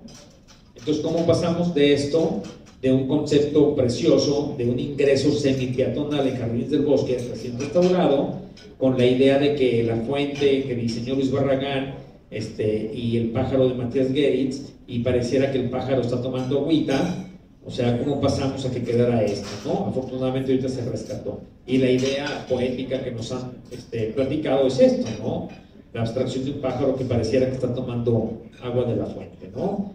Este, la plaza de Guadalajara, también cómo va cambiando este, administración por administración, de repente tiene arbolitos, luego no tiene arbolitos, luego tiene bosques, al día de hoy tiene este, todo eh, eh, un muestrario de árboles de la región, pero para que vean cómo va cambiando, ¿no? También desde el, desde el aspecto de la vegetación, ¿no? Esto es muy reciente. Y pues con esto, muchachos, ay muchachos, perdón, me sentí en la, universidad, este, eh, perdón, este, me sentí ya en casa. Con esto ya estamos terminando con esta frase trilladísima de quien no conoce su pasado está condenado a repetirlo. Así de fácil. Eh, insisto, mis alumnos al día de hoy no saben qué pasó en 911, no, saben qué pasó en las explosiones del 22 de abril, no saben que, no saben que hubo movimientos terroristas en Guadalajara en los 70 Entonces, pues ellos están haciendo propuestas arquitectónicas que no saben que ya no funcionaron, si funcionaron, ¿no? Entonces, pues ya para cerrar, pues te digo, también no siempre pues fue así muy agradable la Guadalajara árida, a lo que estamos tratando de recuperar hoy. Digo, no quiero cerrar con un mal sabor de boca, pero simple y sencillamente creo que sí le estamos ganando porque estamos haciendo un trabajo de conciencia entre ustedes. ¿Ok? Este, pues, ¿cómo pasamos de esto a esto? Y aquí las preguntas. ¿Valió la pena modernizar Guadalajara? se puede hacer conciencia en otras localidades, ¿no? A mí me da mucha eh, curiosidad, impresión, tristeza, impotencia de cada que voy a Tepatitlán, encuentro un estacionamiento nuevo en el centro histórico. Entonces me dicen mis parientes, no, ahora quédate en ahí a, 20 metros. Entonces cada que, que, me doy mis vueltas ya se derriba una casa para hacer estacionamiento, ¿no? Entonces, si estamos viendo con esta presentación que no fue el resultado que esperábamos, pues hay que tratar de, de hacerle difusión para tener una cultura de la conservación y planeación. Y así como lo hizo Gibbon, volverán a hablar maravillas los viajeros de Guadalajara. Digo que no sean Dares y Landmark, que este, he, atendido a alumnos que vienen de otras universidades, de León, a, a que les la ciudad y todos, oiga, profe, ya aquí vamos a ir a Andares. Y realmente lo que vienen, vienen es a una plaza, ¿no? Y el centro realmente para ellos ya no les es de utilidad. Entonces, no todo está perdido, ¿no? Entonces quedémonos con esta imagen de qué preferimos. Este, insisto, fue muy criticada la Plaza Tapatía y las obras. Yo creo que si nos hubieran hecho estos espacios públicos, hubiera terminado en la degradación que existe en muchas zonas, ¿no? Y más en esta zona comercial del mercado, todo se renta para bodegas, le sale muy barato rentar vecindades. Entonces, yo creo que no todo está perdido y tenemos mucho trabajo que hacer. Este, y pues por su atención, muchísimas gracias.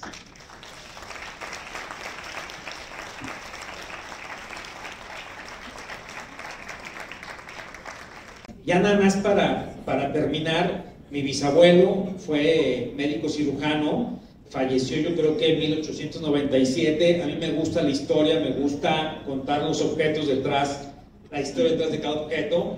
Y mi papá ha conservado eh, el mortero del bisabuelo. Aquí si se acercan están sus tarjetas de presentación que, que traje, están en eh, la puse en la azotea de la, de la maqueta. Y este, aquí está su placa de su consultorio. El abuelo murió, no llegó a 1900 y conservamos la placa. Para ser doctor en mil, a finales de 1800 era todo una hazaña, ¿no? Ser un profesionista, ¿no? Entonces conservamos con mucho orgullo la familia. Eh, tengo primos, hermanos que siguieron esta vena de, de la medicina, ¿no? Entonces, esto a mí me encanta qué hay atrás de toda esta historia, cómo ha pasado de generación en generación y cómo lo seguimos conservando y a quién le vamos a legar esta historia este, tangible. Bueno, muchas gracias por su atención. Bonita noche. Por parte del colegio, una, una constancia y un pequeño detalle también de parte del colegio. Muchas gracias, Toño. Excelente plática, muy interesante y amena. Y ¿Alguna pregunta que tengan para él? Okay. Más algo que sí vaya a saber, porque no me puedo dejar en mal.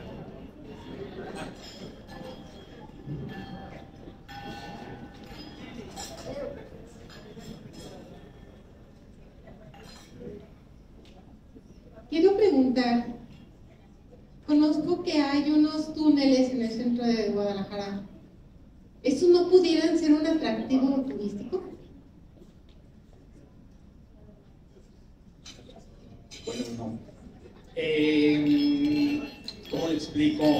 Hay túneles perfectamente ubicados, eh, hay levantamientos de túneles. ¿Puede ser atractivo turístico? Sí. Eh, hay, yo creo que todavía no está bien legislado el andar debajo de una propiedad privada. Uno de los túneles que hay está al lado de la Casa Juan del Caballero el día que lo visiten pueden levantar la tapa, pueden con una lámpara aventar la luz, que vean la profundidad que tiene el túnel y no son galerías filtrantes, porque esa es otra cosa que existe en Guadalajara, de lo de Pedro Buceta, sí existen, incluso algunos tienen la altura para que quepa un caballo y poder trasladarse a una velocidad, este, alguna emergencia, ¿no? Se dio el movimiento, muchos dicen que de la cristiana, otros dicen que no, que viene desde la época de, la independencia, este, sería por supuesto un atractivo turístico como lo es el Puente de las Damas. El Puente de las Damas se rescató, tiene gran demanda y sí sería por supuesto un detonante del turismo, pero está dentro de propiedades particulares que ya compete a cada uno. El túnel, me he querido meter el de que está en la casa de Juan Caballero, con mis alumnos que por supuesto están bien apuntados, pero Obras Públicas los canceló, los selló. Ellos cuando los detectan documentan y cancelan, porque pues así está ahorita estipulado. Pero sí, por supuesto, pues. pregúntame algo que sí sepa, no es quedar mal delante de mis papás. Buenas noches, nada más con, eh, con lo de la doctora Sendejas. En Arandas hay un túnel que va del hospital hacia el templo y en Tepatitlán, eh, ahora que remodelaron una de las esquinas, encontraron un túnel que iba también de un hospital hacia el centro, pero en las remodelaciones se apuraron para taparlo. Y es lo que pasa en, en Arandas, creo que como había algunos que iban a, a, se metían y veían que era medio peligroso, los taparon también. Sí, eh, sí, incluso creo que ven las noticias y, y, las autoridades los cancelaron, pero sí existe toda una red y está documentado, ¿eh? y ahorita tenemos la tecnología para poderlos detectar. Ahorita estoy recordando de niño cuando abrieron para arreglar los drenajes exactamente enfrente del negocio de mi padre. Cuando abrieron, salieron túneles directos de. de hay uno en la esquina, más, más tirado a Pedro Loza, pero ¿te acuerdas, papá? El túnel perfectamente forjado de ladrillo y en menos de dos días ya estaba tapado, ¿no? Porque es como que tapen y no le rasquen. Pero sí, sería todo un proyecto de hecho, hay un programa de Nat no sé, de, que sí se hizo, que conducía Demian Bichir, me parece, que hablan algo al respecto. Sí sería un atractivo. Vamos primero a, fomentar el Puente de las Damas. Está esta otra pastelería elefante, ¿cómo se llama? Que también en el estacionamiento salieron parte de los vestigios de túneles. Entonces, esto es lo que queremos, hacer ruido para que la gente se acerque y lo conserve. Y conservándolo, estamos perpetuando la memoria.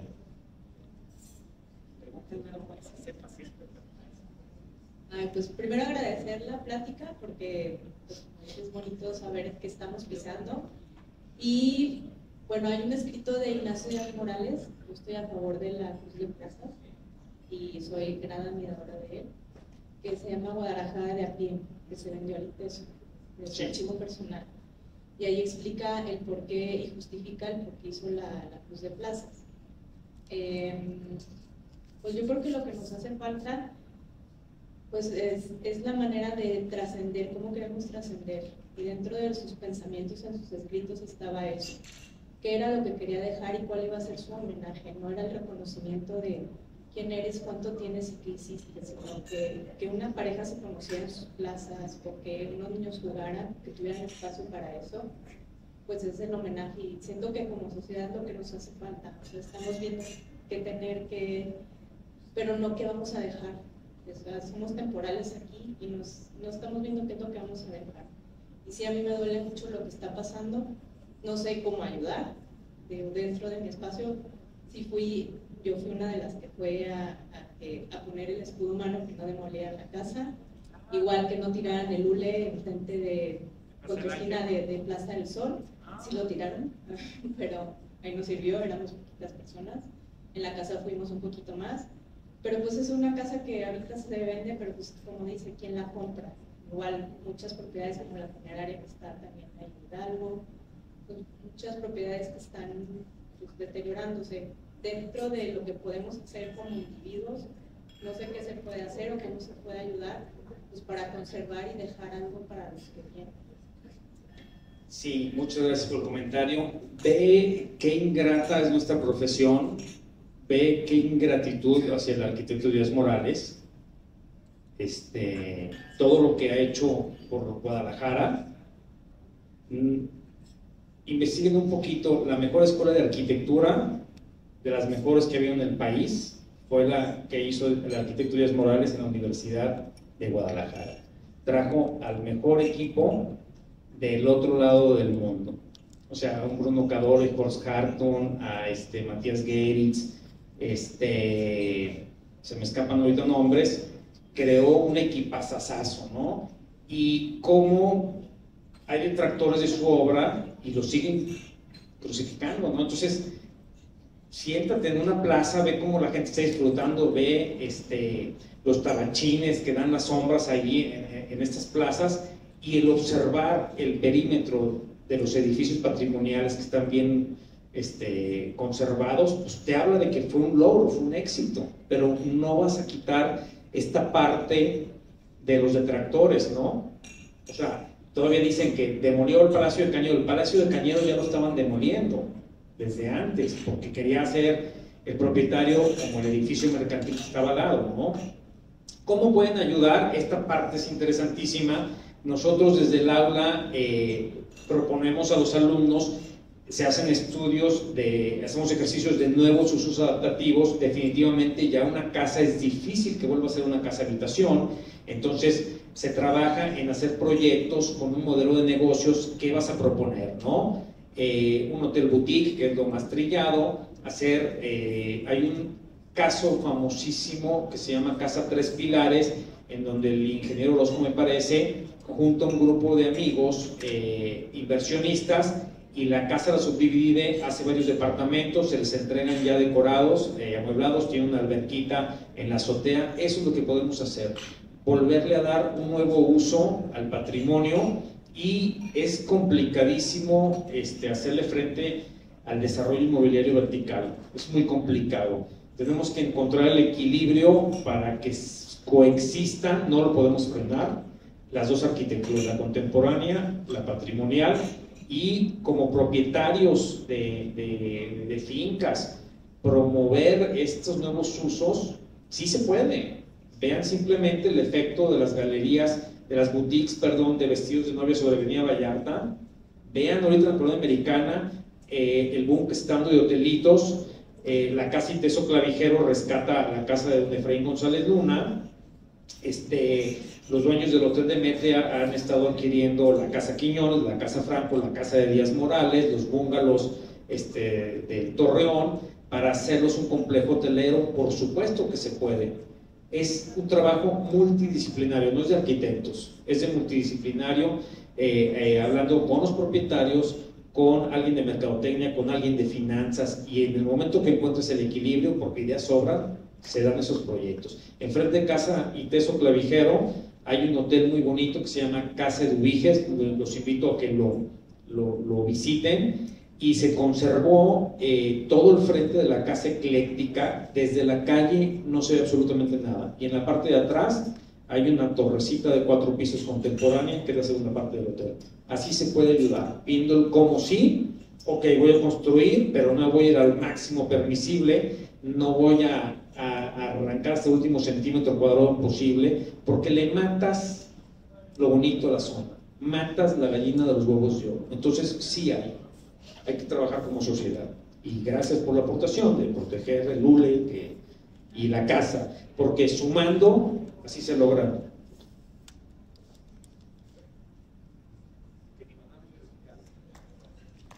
muchísimas gracias.